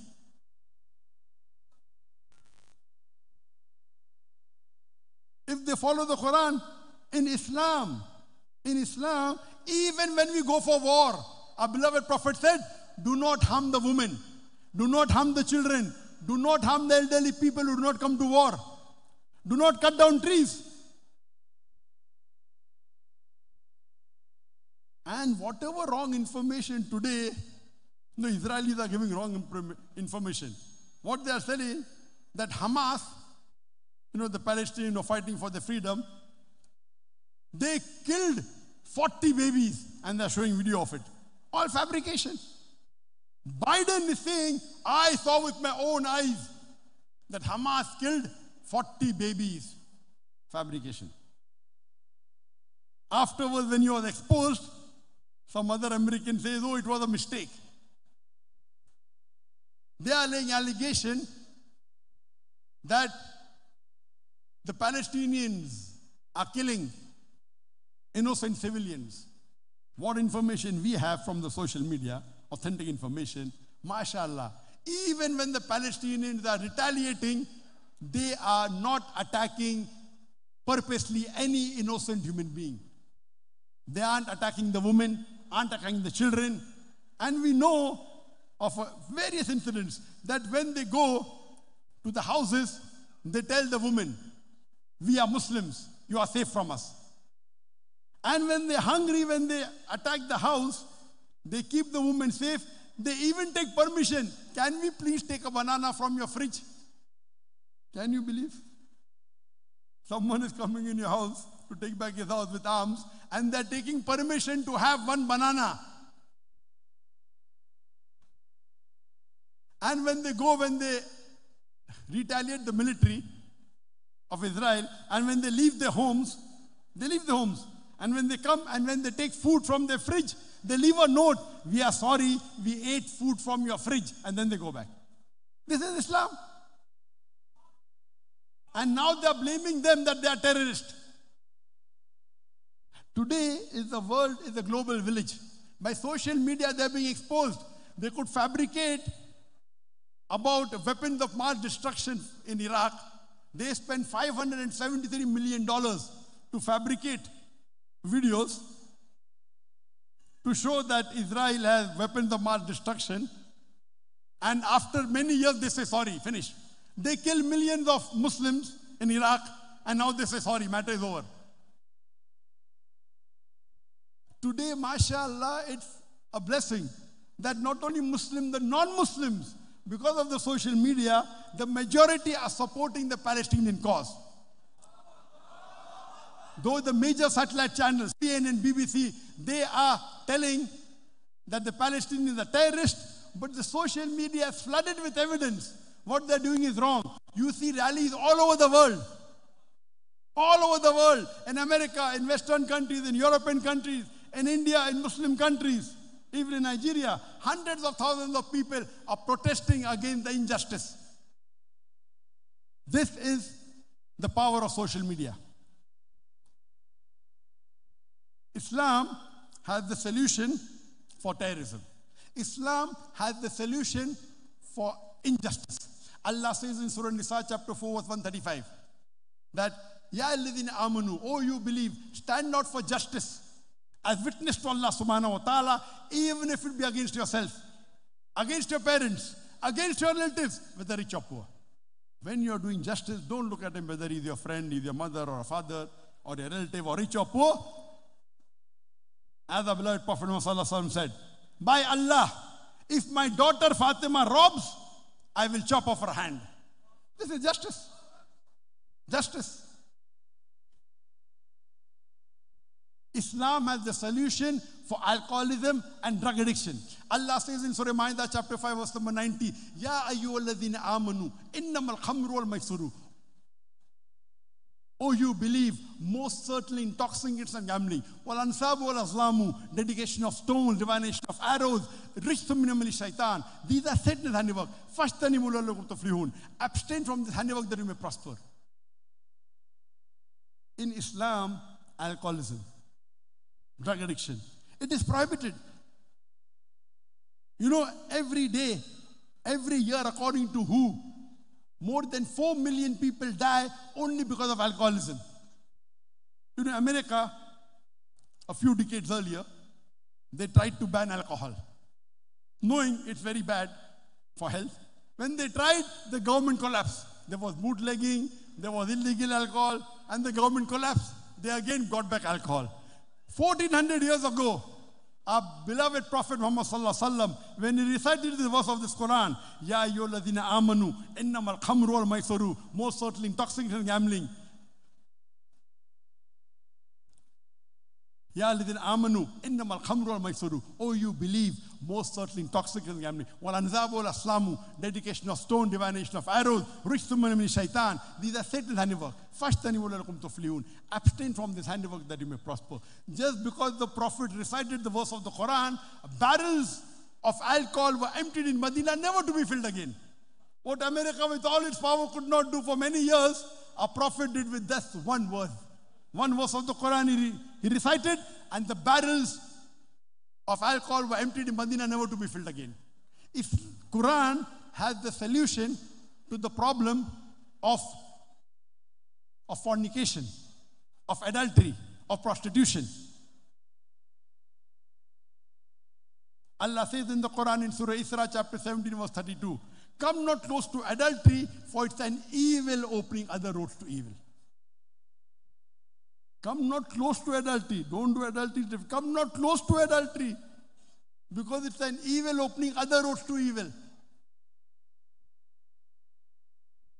Quran has the solution to the problem of pornography, of immodesty, of obscenity. Islam and Quran and Hadith, they prescribe hijab. Allah says in the Quran in Surah Nur chapter 24, verse number 30, it first speaks about hijab for the man. Ya amanu, oh you believe, lower your gaze and protect your modesty. Whenever a man looks at a woman and any brazen thought comes in his mind, he should lower his gaze. That is the hijab for the man.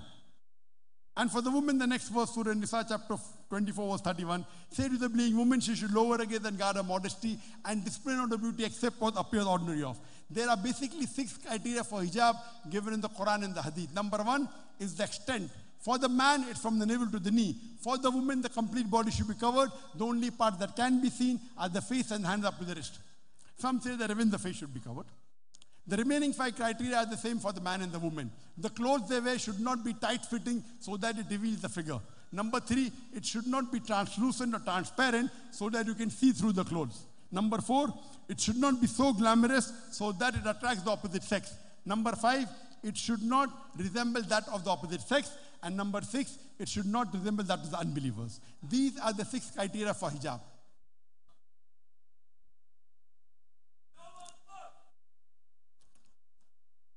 And people ask me that why hijab should be done. I tell them that if there are two twin sisters who are very beautiful, equally beautiful, if they are walking down the streets of Sokoto, and if one sister, one lady, she is wearing a, a complete hijab, Islamic hijab, complete body covered, only part seen is face and hand to the wrist. And the second twin sister, she's a westerner, wearing mini skirts or shorts with a low neck.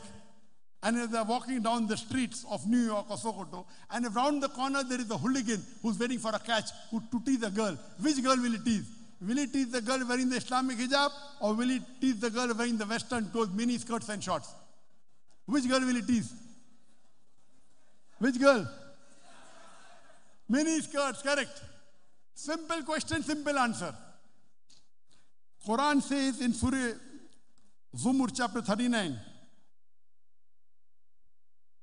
Allah says in Surah Ahzab, chapter, chapter 33, verse 59, O Prophet, tell your wives and your daughters and the believing women, when they go abroad, they should put on the cloak so that they shall be recognized.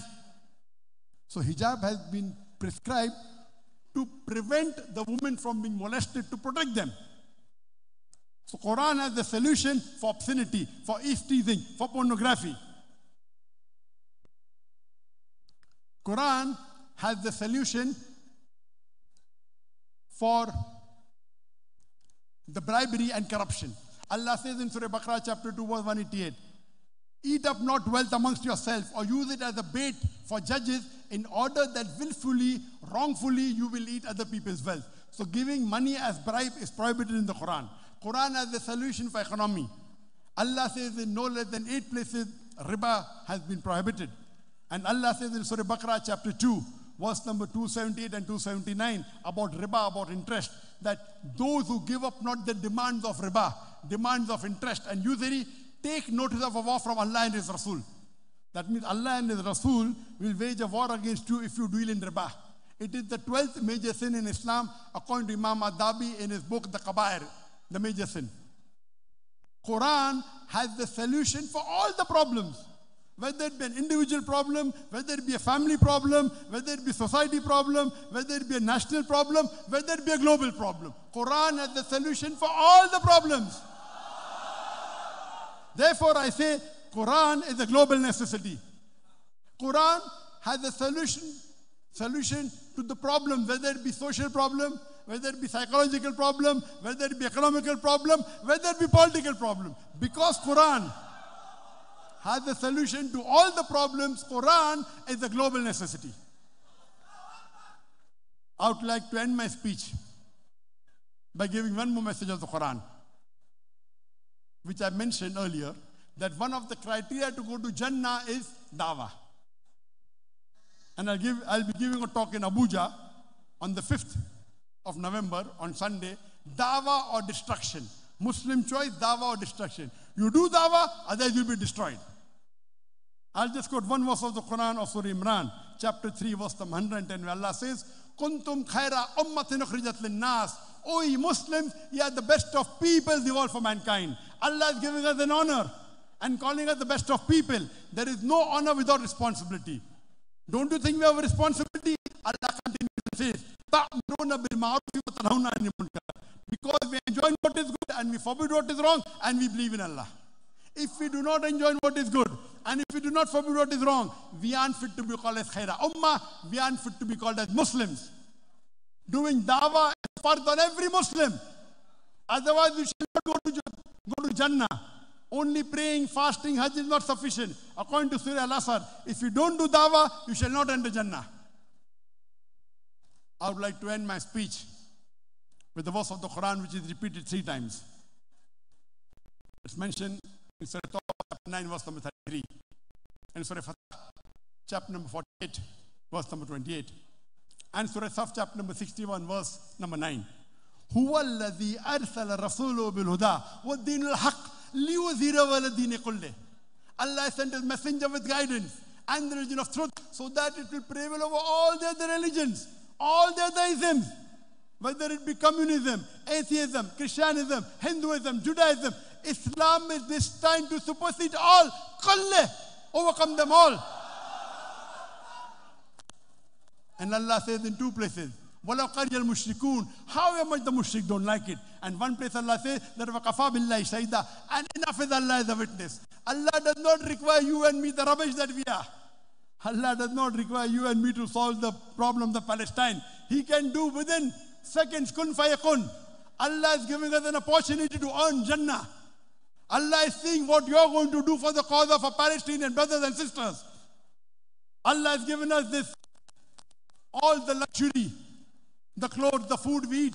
What are we doing for our brothers in Palestine, for our sisters in Palestine? I pray to Allah subhanahu wa ta'ala that may He grant them Jannah and give them sabr and give them victory over the Zalimun. Wa akhiru dawana alhamdulillah rabbil alameen.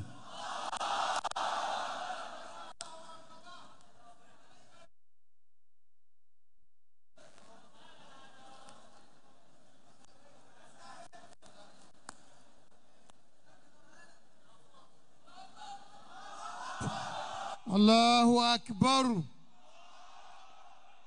That was a one hour lecture titled Quran, the Global Necessity, delivered by Dr. Zakir Naik. As Allah subhanahu wa ta'ala says, ما فرطنا في الكتاب من شيء. جزاكم الله خير. Your Excellencies, without taking much time, we'll invite His Eminence the Sultan for his address. Allahu Akbar.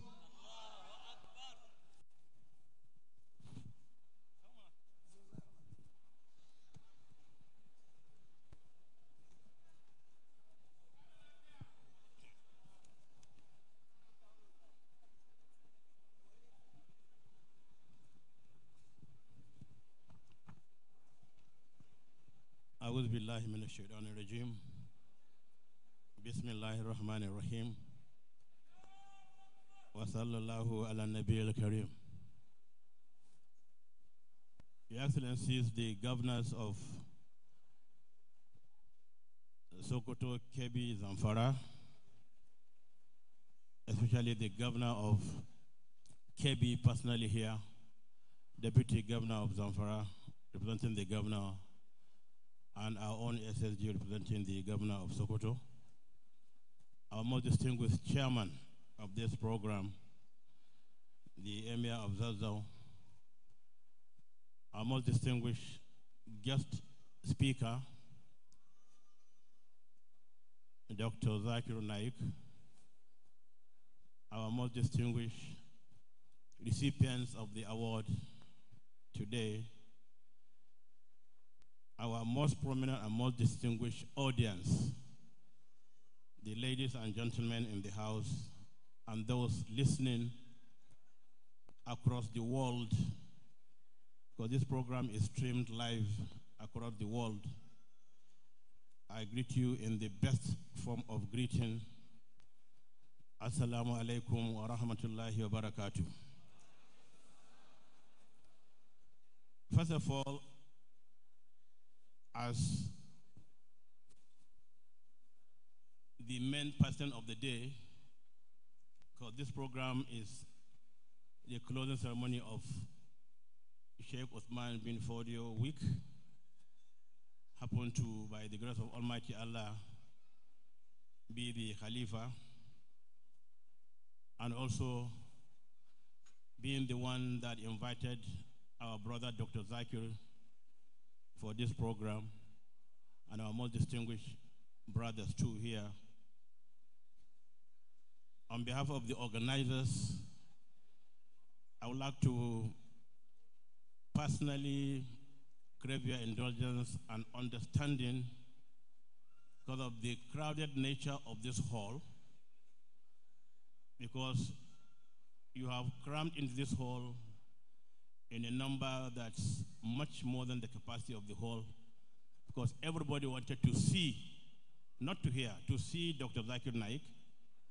Because if it's to hear, you would have stayed at home as you have handsets. So you are crowded here. It's a bit inconveniencing. But Alhamdulillah, for this day, you are all you all trooped out here to be part of this very special program.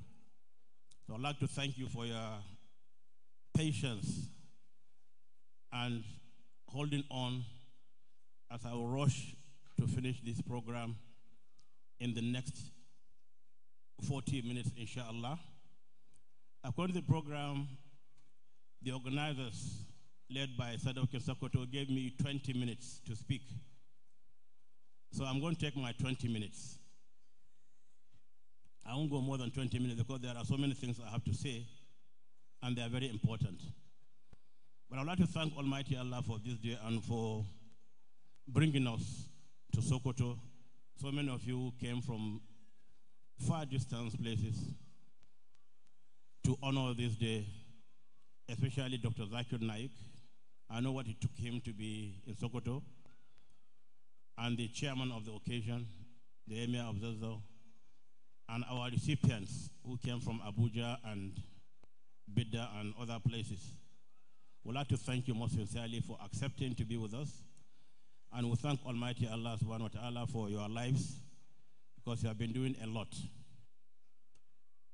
All what's been said by the previous speakers, especially Sadaf Sokoto, who told us why we're here, what we're here for, which is the culmination of the week-long program.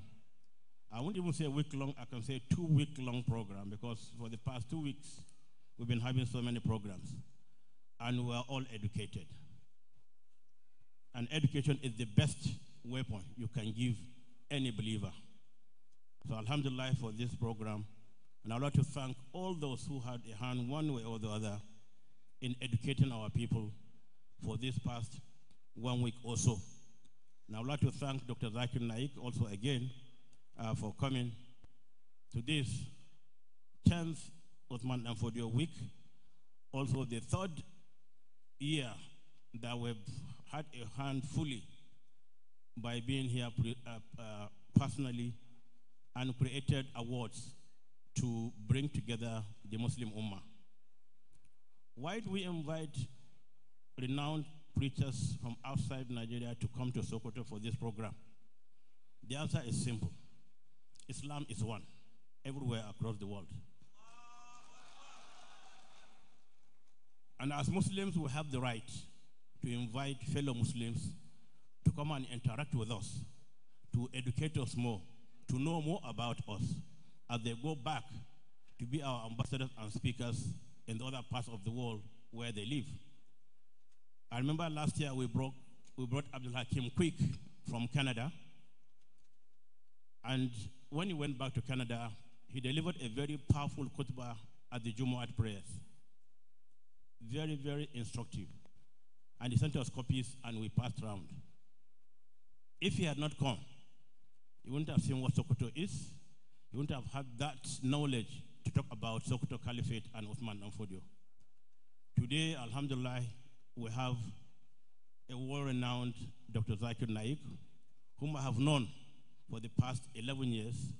We first met in Makkah during Umrah, and we got talking, and he came to see me, and we discussed. That was 11 years ago. He came to Nigeria 10 years ago, but today he is our guest in Sokoto. So Sokoto is happy to receive you, Doctor, and hope you come back again and again whenever we invite you. The issue is simple. We are Muslims, and Alhamdulillah, we are very proud to be Muslims. And we thank Almighty Allah Allah for making us Muslims, creating us Muslims, and bringing us into this part of the world. And nothing else could change our views about Islam and about what we should do. We are working for Islam and nothing else. We are not working for anybody. And that's why whenever we meet as Muslim leaders, we must tell ourselves the home truth. We are Muslims by Allah's divine will, and nobody could change it. And we are very happy and proud.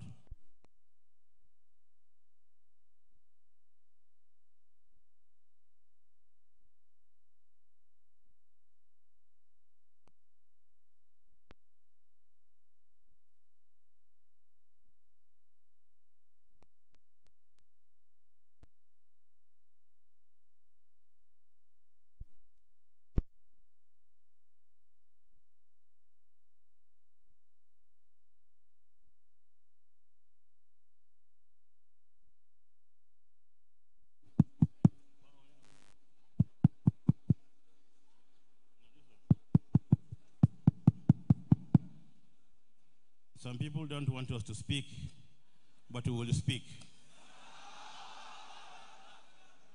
Maybe I would have used my military voice in those days when I was a soldier commanding parade on parade ground. But now it's a different game. I have to use microphone, and Dr. Zakir Naik said this microphone is better than yesterday's. So that is technology. So Alhamdulillah for being Muslims, and we thank Almighty Allah, and we continue to praise Him and worship Him, Him and only Him alone. We've had an instructive, very beautiful lecture by Dr. Zakir Naik, and I'm sure a lot of people across the world must have heard the same thing. What he said is the plain truth according to Islamic principles and tenets, and according to his own knowledge as somebody who is into dawah activities and nothing more about that. So those who are thinking that he is going to say something different should have a rethink. What he said is educating Muslims and non-Muslims alike what Islam is and what Islam is not. So Alhamdulillah for this day, and I want to thank all of you for coming. And I won't go too much into uh, other discussions of this nature. It's already after two o'clock, and I have said, haven't been given 10 minutes, I will use my 10 minutes. But the point is that we have no apology to anybody that we invited one of our own as a Muslim, as a Muslim preacher, to come and talk to us about Islam and the Quran, and we'll do it again and again. Because we believe in what we tell one another. We have to tell ourselves the home truth. The doctor just said we have to tell the truth if it's against you or your parents or your friends. So we want to thank you most sincerely. Some of the good behaviors of any Muslim, I believe, are honesty, integrity, and fear of Almighty Allah. For a Muslim to be a good Muslim, there are so many, but these three, I believe, they hold, they are at the front. And that's why September last, uh, 20, about 23rd September, one Nigerian, one Muslim brother had a lot of money left in his keke NAPEP in Kano. As a good Muslim, what did he do? He went to radio station. Said somebody was in my, was in my keke NAPEP and he left this money. He returned the money. According to what we had, even that night, they had to take Gari to sleep. But he didn't take that money. The conscience of Islam pricked him and said, Look, let me return this money. And for that reason, we believe we must bring him out to you here to see him and for us to thank him. For us to thank him and tell him, Yes, we are proud of you as our son, as a fellow Muslim who did that. And we will not tell anybody what we are going to give you. But you being here being brought to the public here, we also have a little paper that you will keep, laminate, and say, This is from Sultan, that I signed it, thanking you, thanking Allah for your life, and calling on other Muslims also to follow the same, so, the same road you, you took. So, why is, uh, why is the young man?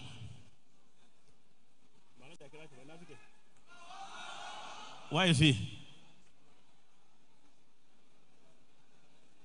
I want to bring, uh, I think, Salisu Ko. I want Salisu. Come to the front here. Shi kadai, shi kaɗai zai.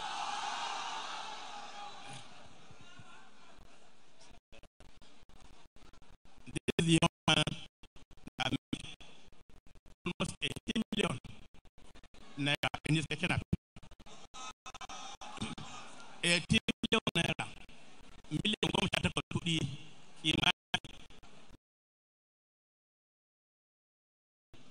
Aka ah, kira masu aka ba su. Today we brought him from Cairo for you to see him, for us to thank him for being a good Muslim, Muslim, and a Muslim with integrity, and we wish you all the best, and we'll continue to work with you. We will call you privately, not publicly, to see we can do for you. We don't want to tell everybody. We don't want the bandits to go after you. But we'll give you a paper for you to go and show everybody that yes, you are here, you shook the hands of Sultan, you took picture with him, he gave you a piece of paper, you shook the hands of Emir of the governor of Kebbi, governor of Sokoto, governor of Zamfara, and of course, Etsu Nupe, and then our main guest, Sheikh Dr. Zakir Naik. So muna maka fatan alheri, kuma ka ci gaba da wannan aiki na alheri, a ci gaba da tsaya bisa gaskiya ta addinin musulunci. To mu gaisa.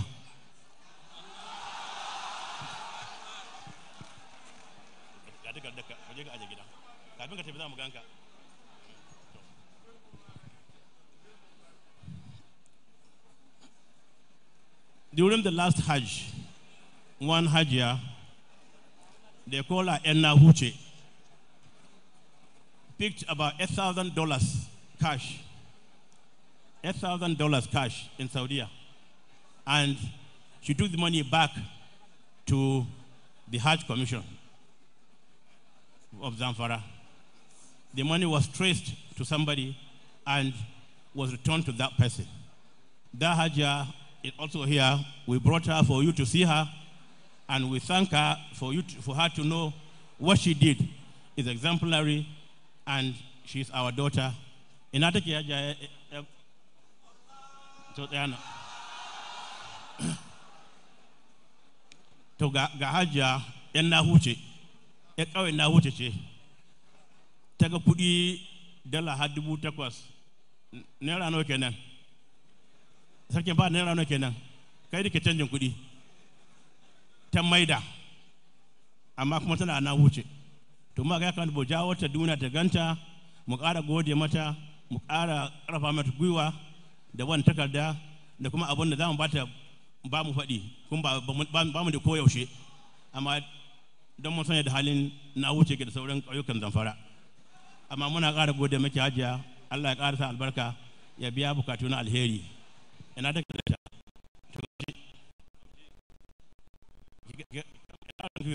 to sai ku amsa mata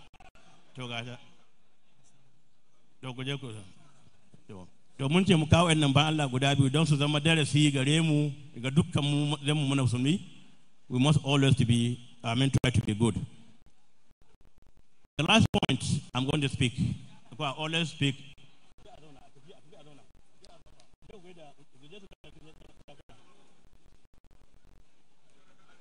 The last point I'm going to speak about the award. I instituted the award three years ago. We called the awards Uthman Danfodio Award for Leadership. And the first winners were Professor Shehu Galadanci at this very hall, last year's winner, Sheikh Abubakar Mahmoud Gumi, posthumously. And this year, we are giving it to no other person than Sheikh Isiaq Rabiu, posthumously because of our relationship with him for the work he, had been, he did for Islam, and his family members are still doing for Islam. So he is the year, this year's winner of this award. The second is the Sheikh Abdullah Fodio Award for scholarship. Our own Sheikh Isa Latin Mafara is known very well across the world. He had been reading and writing and teaching Uthman Danfodio books and other Islamic subjects. This year, he is the winner of Sheikh Abdullah Fodio Prize for Scholarship. It was won first by Sheikh Ahmad Lemu, posthumously, Sheikh Sharif Saleh last year, and this year, Sheikh Muhammad Isa Talatin Mafara. The third prize is Sultan Muhammad Bello Prize for governance, for good governance. Governance in the sense that we as Muslims, we consider governance as a very, very important thing. A leader must hold on to certain ideals of good governance. When we instituted it, the first winner was the Sheikh of Borno, and the second winner was late Emir of Kano, Alaja Ado Bayero. And this year's winner is no other than my own friend, my own colleague in the army, in the armored corps, a general like me, the Etsu Nupe, and the chairman of Niger State Council of Traditional Rulers. And the fourth award is Nana Asma's award, which was won first by Professor Sadia, and then Hajia Latifa Okunnu of Lagos last year, former deputy governor. And this year it goes to Professor Khadija Nuhu from Kano. Then the fifth award is my own personal award because we named it Sultan Saad Abakar Award for Peace. Last year's award, or the first award, the first winner was Abdul Latif of blessed memory. And the last year's winner was Fuad Adeyemi, whom you all know very well. And this year's award is no other person than Professor Ishaq Oloyede, the famous registrar of JAMB, who returned billions and billions of naira, who caught, who caught a snake that swallowed 36 million naira. Today he is the winner because of his role as Secretary of Supreme Council for Islamic Affairs, very, very close to me. I personally picked all these awardees, all those who are going to be awarded today. And the last one, the public's one and only, I say the one and only public who was head of service of the Federation, who was secretary to the government of the Federation, who was minister of defense of the Federation. Three appointments. No, no, no other person ever held these three appointments.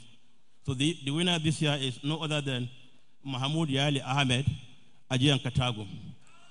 So these are the winners, and I've been close to all of them, and I could vouch for their integrity, and yes, they deserve to be given these awards. These awards come with little token. To most of them, the little token I'm giving is from my heart, it's personal, but I know so many of them have trillions of that. But I know they'll take it home. I'm tara bayan Allah when the su da tsoron da ba musu ce wannan sarki musu bai bani ni kuma na baka. So that's the award and the prizes. I would like to call on the governors of Sokoto, Kebbi, Zamfara, and the chairman to join me here so that we give these awards to these six distinguished uh, Muslim leaders in this country. Sheikh Osman Danfodio Award for Leadership. It goes to Sheikh Isiaq Rabiu posthumously.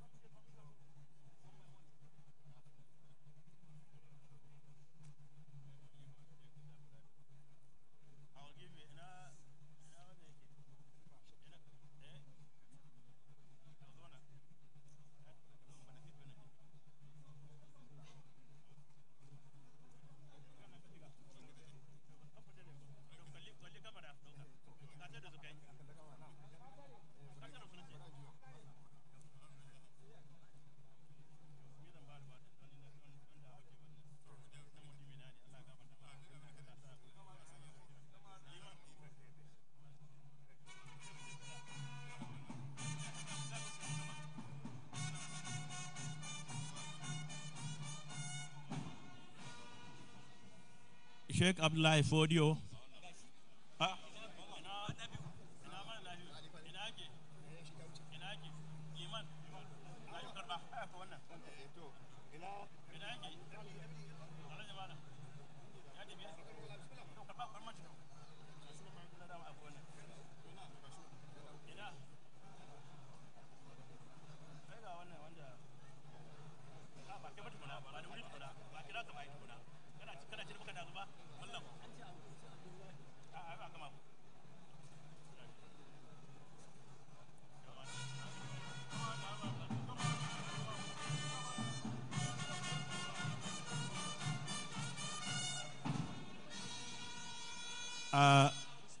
Isa Talata, Talata Mafara, I will request the governor of uh, Kebbi State to award this. No, I will, I will hold on. I will give, uh, okay, it's live audio. It's a live audio, yes. So the governor of Kebbi will do the justice to that because he is the Kebbi State man.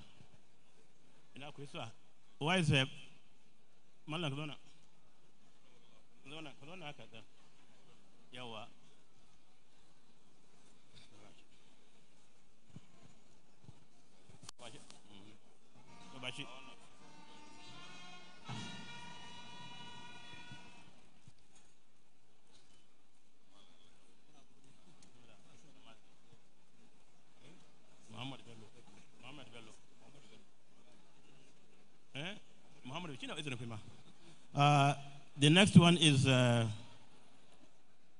Bagadoji. Etsu Nupe Malam Dendo. He has the prize of good governance. You need to go to Bida Emre to see what he's doing, how he has, he has moved the whole populace in terms of security and otherwise. We are, we are witnesses to that. And good enough, we're in the, we are in the same armored corps, and uh, we are now in the same boat. The governor of uh, Zamfara State will give the award.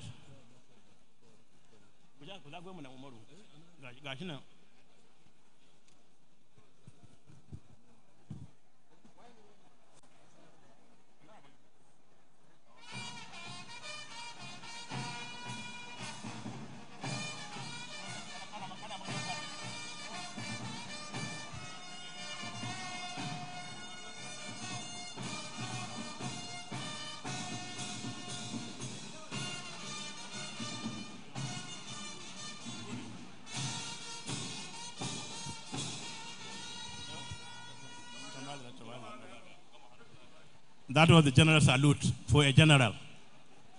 For you civilians who don't know what it is, that's general salute.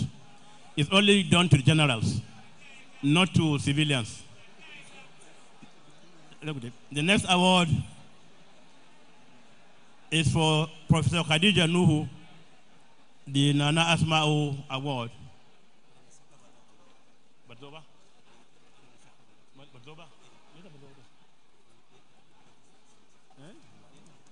Well, she represented by her own colleagues and will be given by the Emir of Zazzau.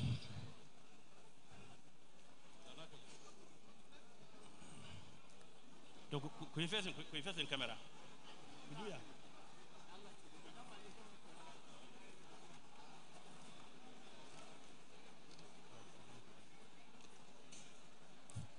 Thank you very much.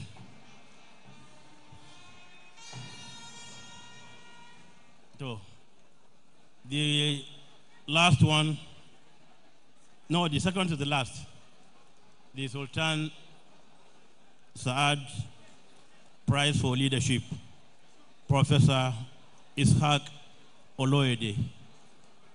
Ingbati, Ingbati, welcome to Sokoto.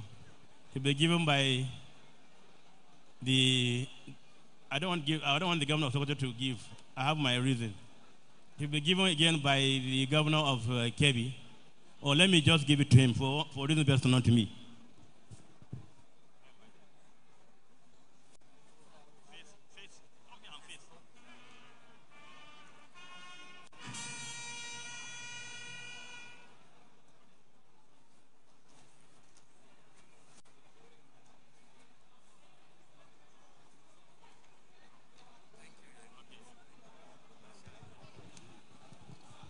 The last one,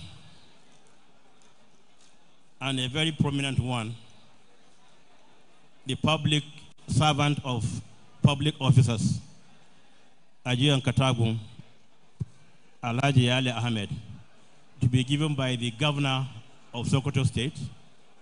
If you, what you don't know, Yayale Ahmed is the father of governor of Sokoto State. And that's why I said I will leave that one for the governor to give. If we were to be here, he would have been jumping with joy that he's giving his father this award. So we request the governor of Sokoto to give the award.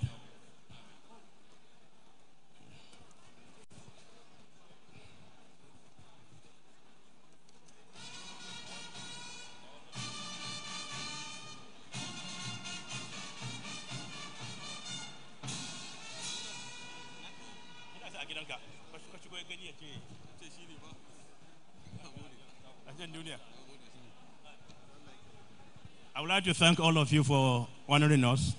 Please take your seat so that we just round up.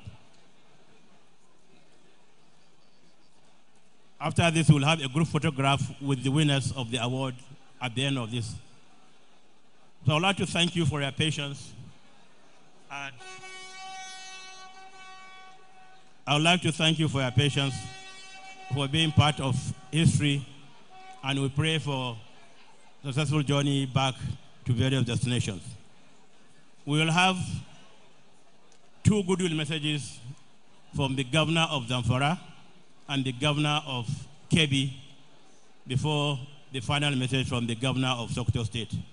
Wassalamu alaikum wa rahmatullahi wa barakatuh. التكبير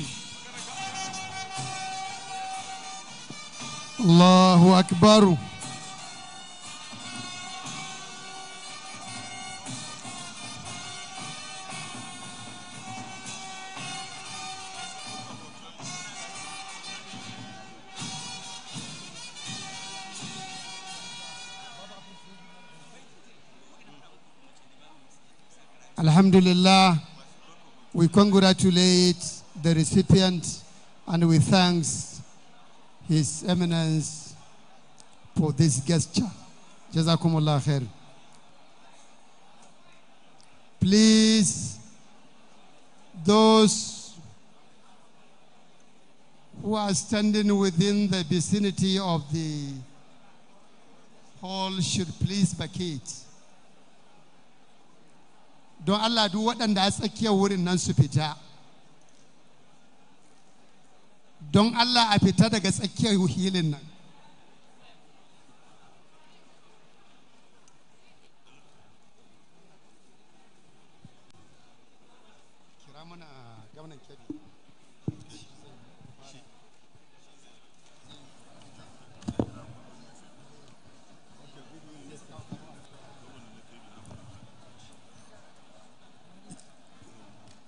Your Excellencies, Your Highness,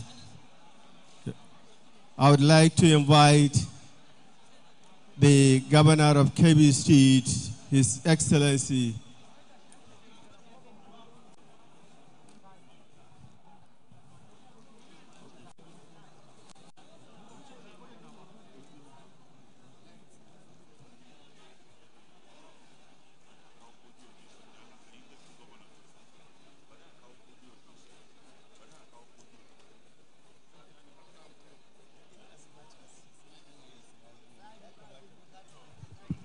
Before the goodwill messages, one of the recipients, and indeed former secretary to the federal government of the federation, would forward an appreciation of, on behalf of other recipients. Alhaji Ali Ahmad. أعوذ بالله السميع العليم من الشيطان الرجيم بسم الله الرحمن الرحيم Your Excellencies, the governors of Sokoto, Kebbi, and Zamfara states, Your Eminence, the Sultan of Sokoto, Your Royal Highnesses, our distinguished guest speaker, Sheikh Zakir Abdul Karim Naik, the founder and the president of Islamic Research and the Peace Television, distinguished ladies and gentlemen,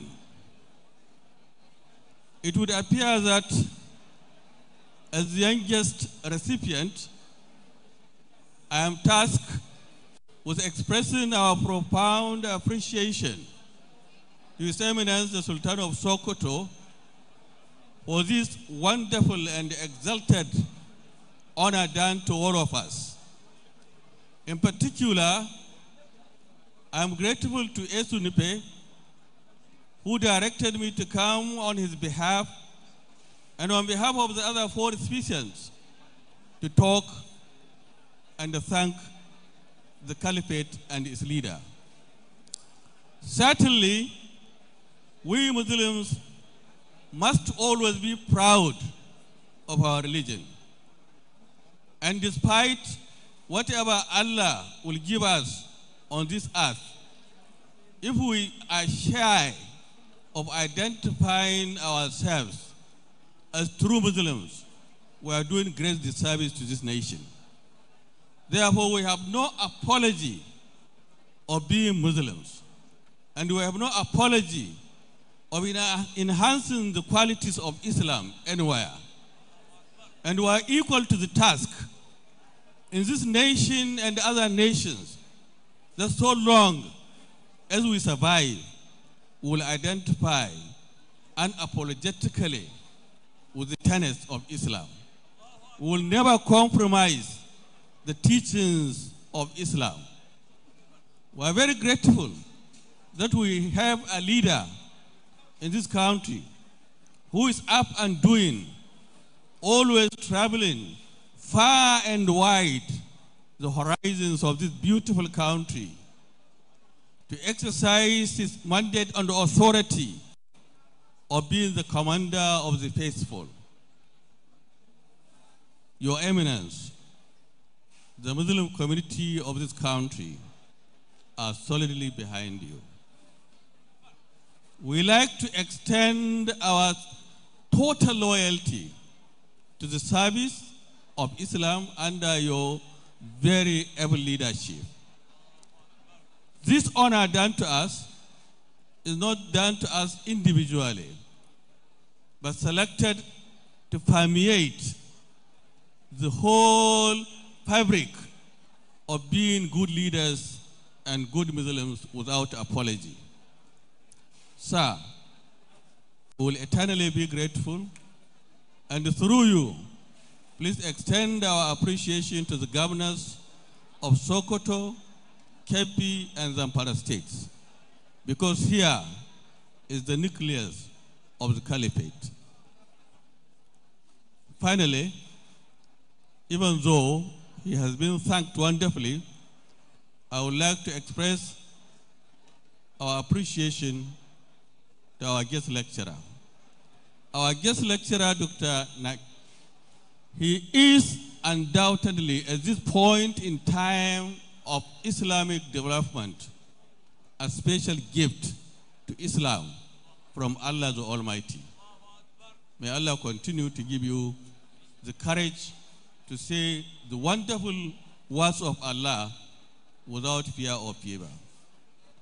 Distinguished ladies and gentlemen, with the recipients and awardees and honorees will ever eternally be grateful to Sultan. I thank you all on our behalf. Alhamdulillah. MashaAllah. Uh, thank you very much. Uh, the former uh, Secretary to the Federal Government of Nigeria.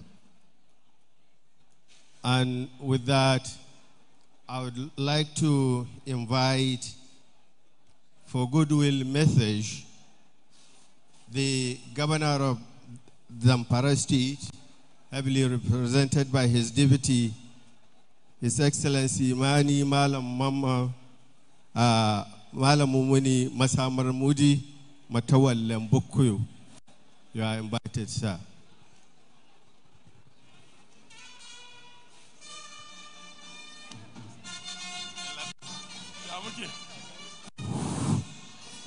أعوذ بالله من الشيطان الرجيم بسم الله الرحمن الرحيم جماعة السلام عليكم ni zan yi da hausa don dukkan jama'a mu da na gida na karkara su ji abin da mun ka zo yi nan mai alfarma sarkin musulmi babana alhaji sa'ad abubakar mayan-mayan sarakuna da ke wannan wuri gwamnan jihar sokoto a wakilin gwamnan jihar a wakilin gwamnan jihar sokoto gwamnan jihar kebbi mai gidanmu sauran manyan malumai musamman wanda aka wanda ya ba da lecture sheikh zakir naik. Allah ya saka mashi da alheri. Ba abun da zan faɗa a madadin zamfara ko gwamnatin zamfara shine mai gidana dr dauda lawal ya umarce ni da sassafe in baro in zo nan domin in samu kaina nan a madadin jihar zamfara. Don mu gwadi mu da ba da goyon bayanmu da sanin muhimmancin wannan aikin da aka yi yau na musulunci Allah ya saka masu suka shirya shi da alheri. Mai alfarma sarkin musulmi mu zan farawa ɗari bisa ɗari muke tare da wannan gida muke tare da ku. Kuma mun san aikin da kuka yi bayan wannan ƙasa musamman ni ma ni malamin muni wanda ya to da wani gari wanda aka ce matsawa yanzu masa mamudi. Allah ya ƙara ba da sara Allah ya saka muku da alheri. Shugaban suka shirya wannan wuri ko suka shirya wannan aiki ba ƙaramin aiki suka yi ba. Dukkan abin da sun kai don ci nasarar wannan wuri su ma Allah saka masu da alheri. A madadin jihar gwamnatin jihar zamfara da al'ummar jihar zamfara muna ba da goyon ba ɗari bisa ɗari. Kuma mun yarda da aikin da an kai na alheri kuma Allah ya sa ‘ya'ya Allah alheri Allah saka alheri Masha Allah, muna godiya mai girma mataimakin. And with that, I would like to invite the next person to deliver his goodwill message. The governor of Zamfara State, uh, the governor of Kebbi State, His Excellency Nasir Idris uh, Kauran Gwandu, comrade, sir.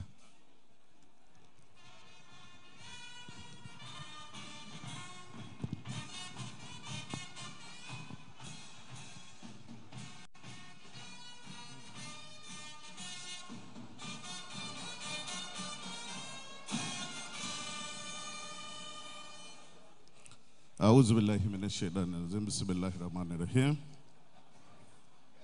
Your Excellencies, the Governor of Sokoto and Zamfara States,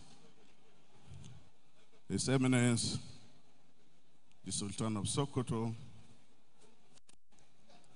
the Emirs of Zazzau, Bida, and other Emirs that are presently here,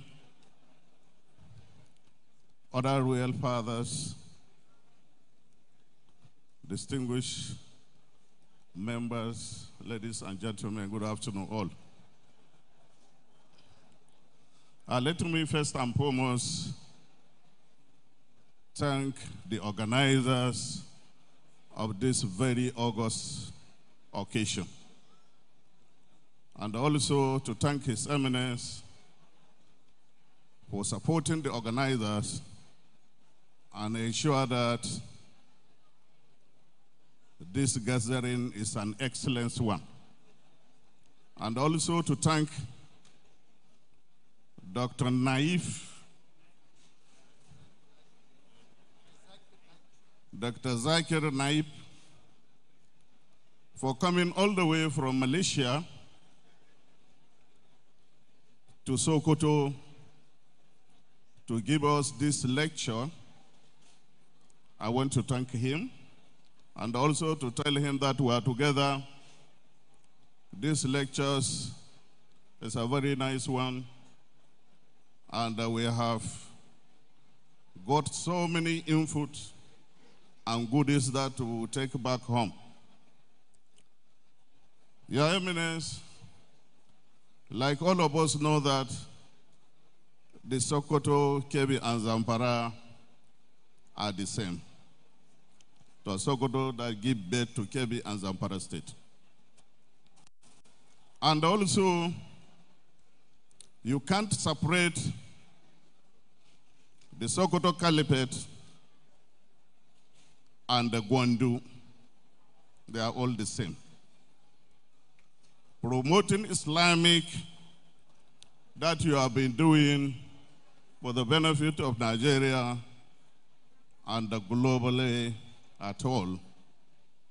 I want to assure you that anytime this type of occasion is to take place,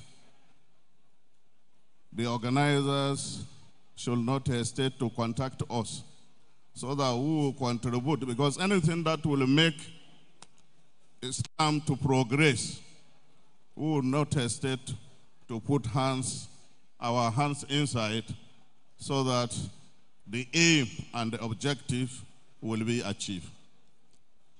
More so, our people that came from various places to witness these very important lectures, I want to seize this opportunity to thank them and I pray that Almighty God should take everybody back to his various homes safely. Thank you and God bless all of us.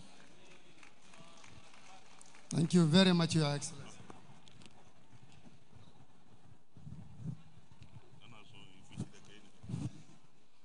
Thank you very much, Your Excellency. With this, I have the honor to invite the representative of Chief Host and the Executive Governor of Sokoto State, Dr.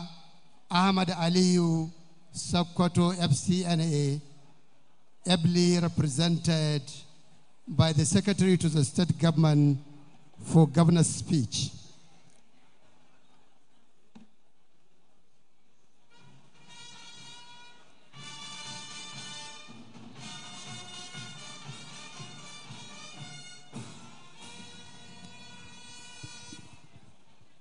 أعوذ بالله من الشيطان الرجيم بسم الله الرحمن الرحيم وصلى الله على النبي الكريم صلى الله عليه وسلم Your Eminence, the Sultan of Sokoto and the President General, Supreme Council for Islamic Affairs, Your Excellency, the Governor of Kebbi State and Comrade, your Excellency, the representative of the governor of Kebbi State, and my good friend Malini Moody, Your Royal Highnesses, the Emir of Zazzau and uh, Mina, Kagara, and other prominent chiefs, the guest speaker, Professor Zakir Naik, the recipients of the awards, ulamas, guests, my colleagues, Assalamu alaikum wa rahmatullahi ta'ala wa barakatuhu.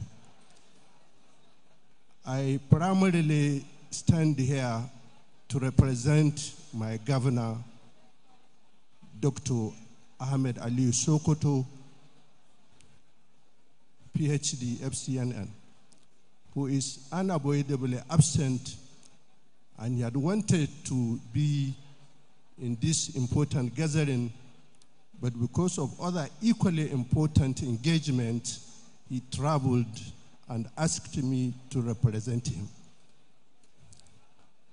The governor is profoundly joyous to welcome everybody to this important gathering. On the occasion of 10th Sheikh Usman Danfodiyo week, year 1445.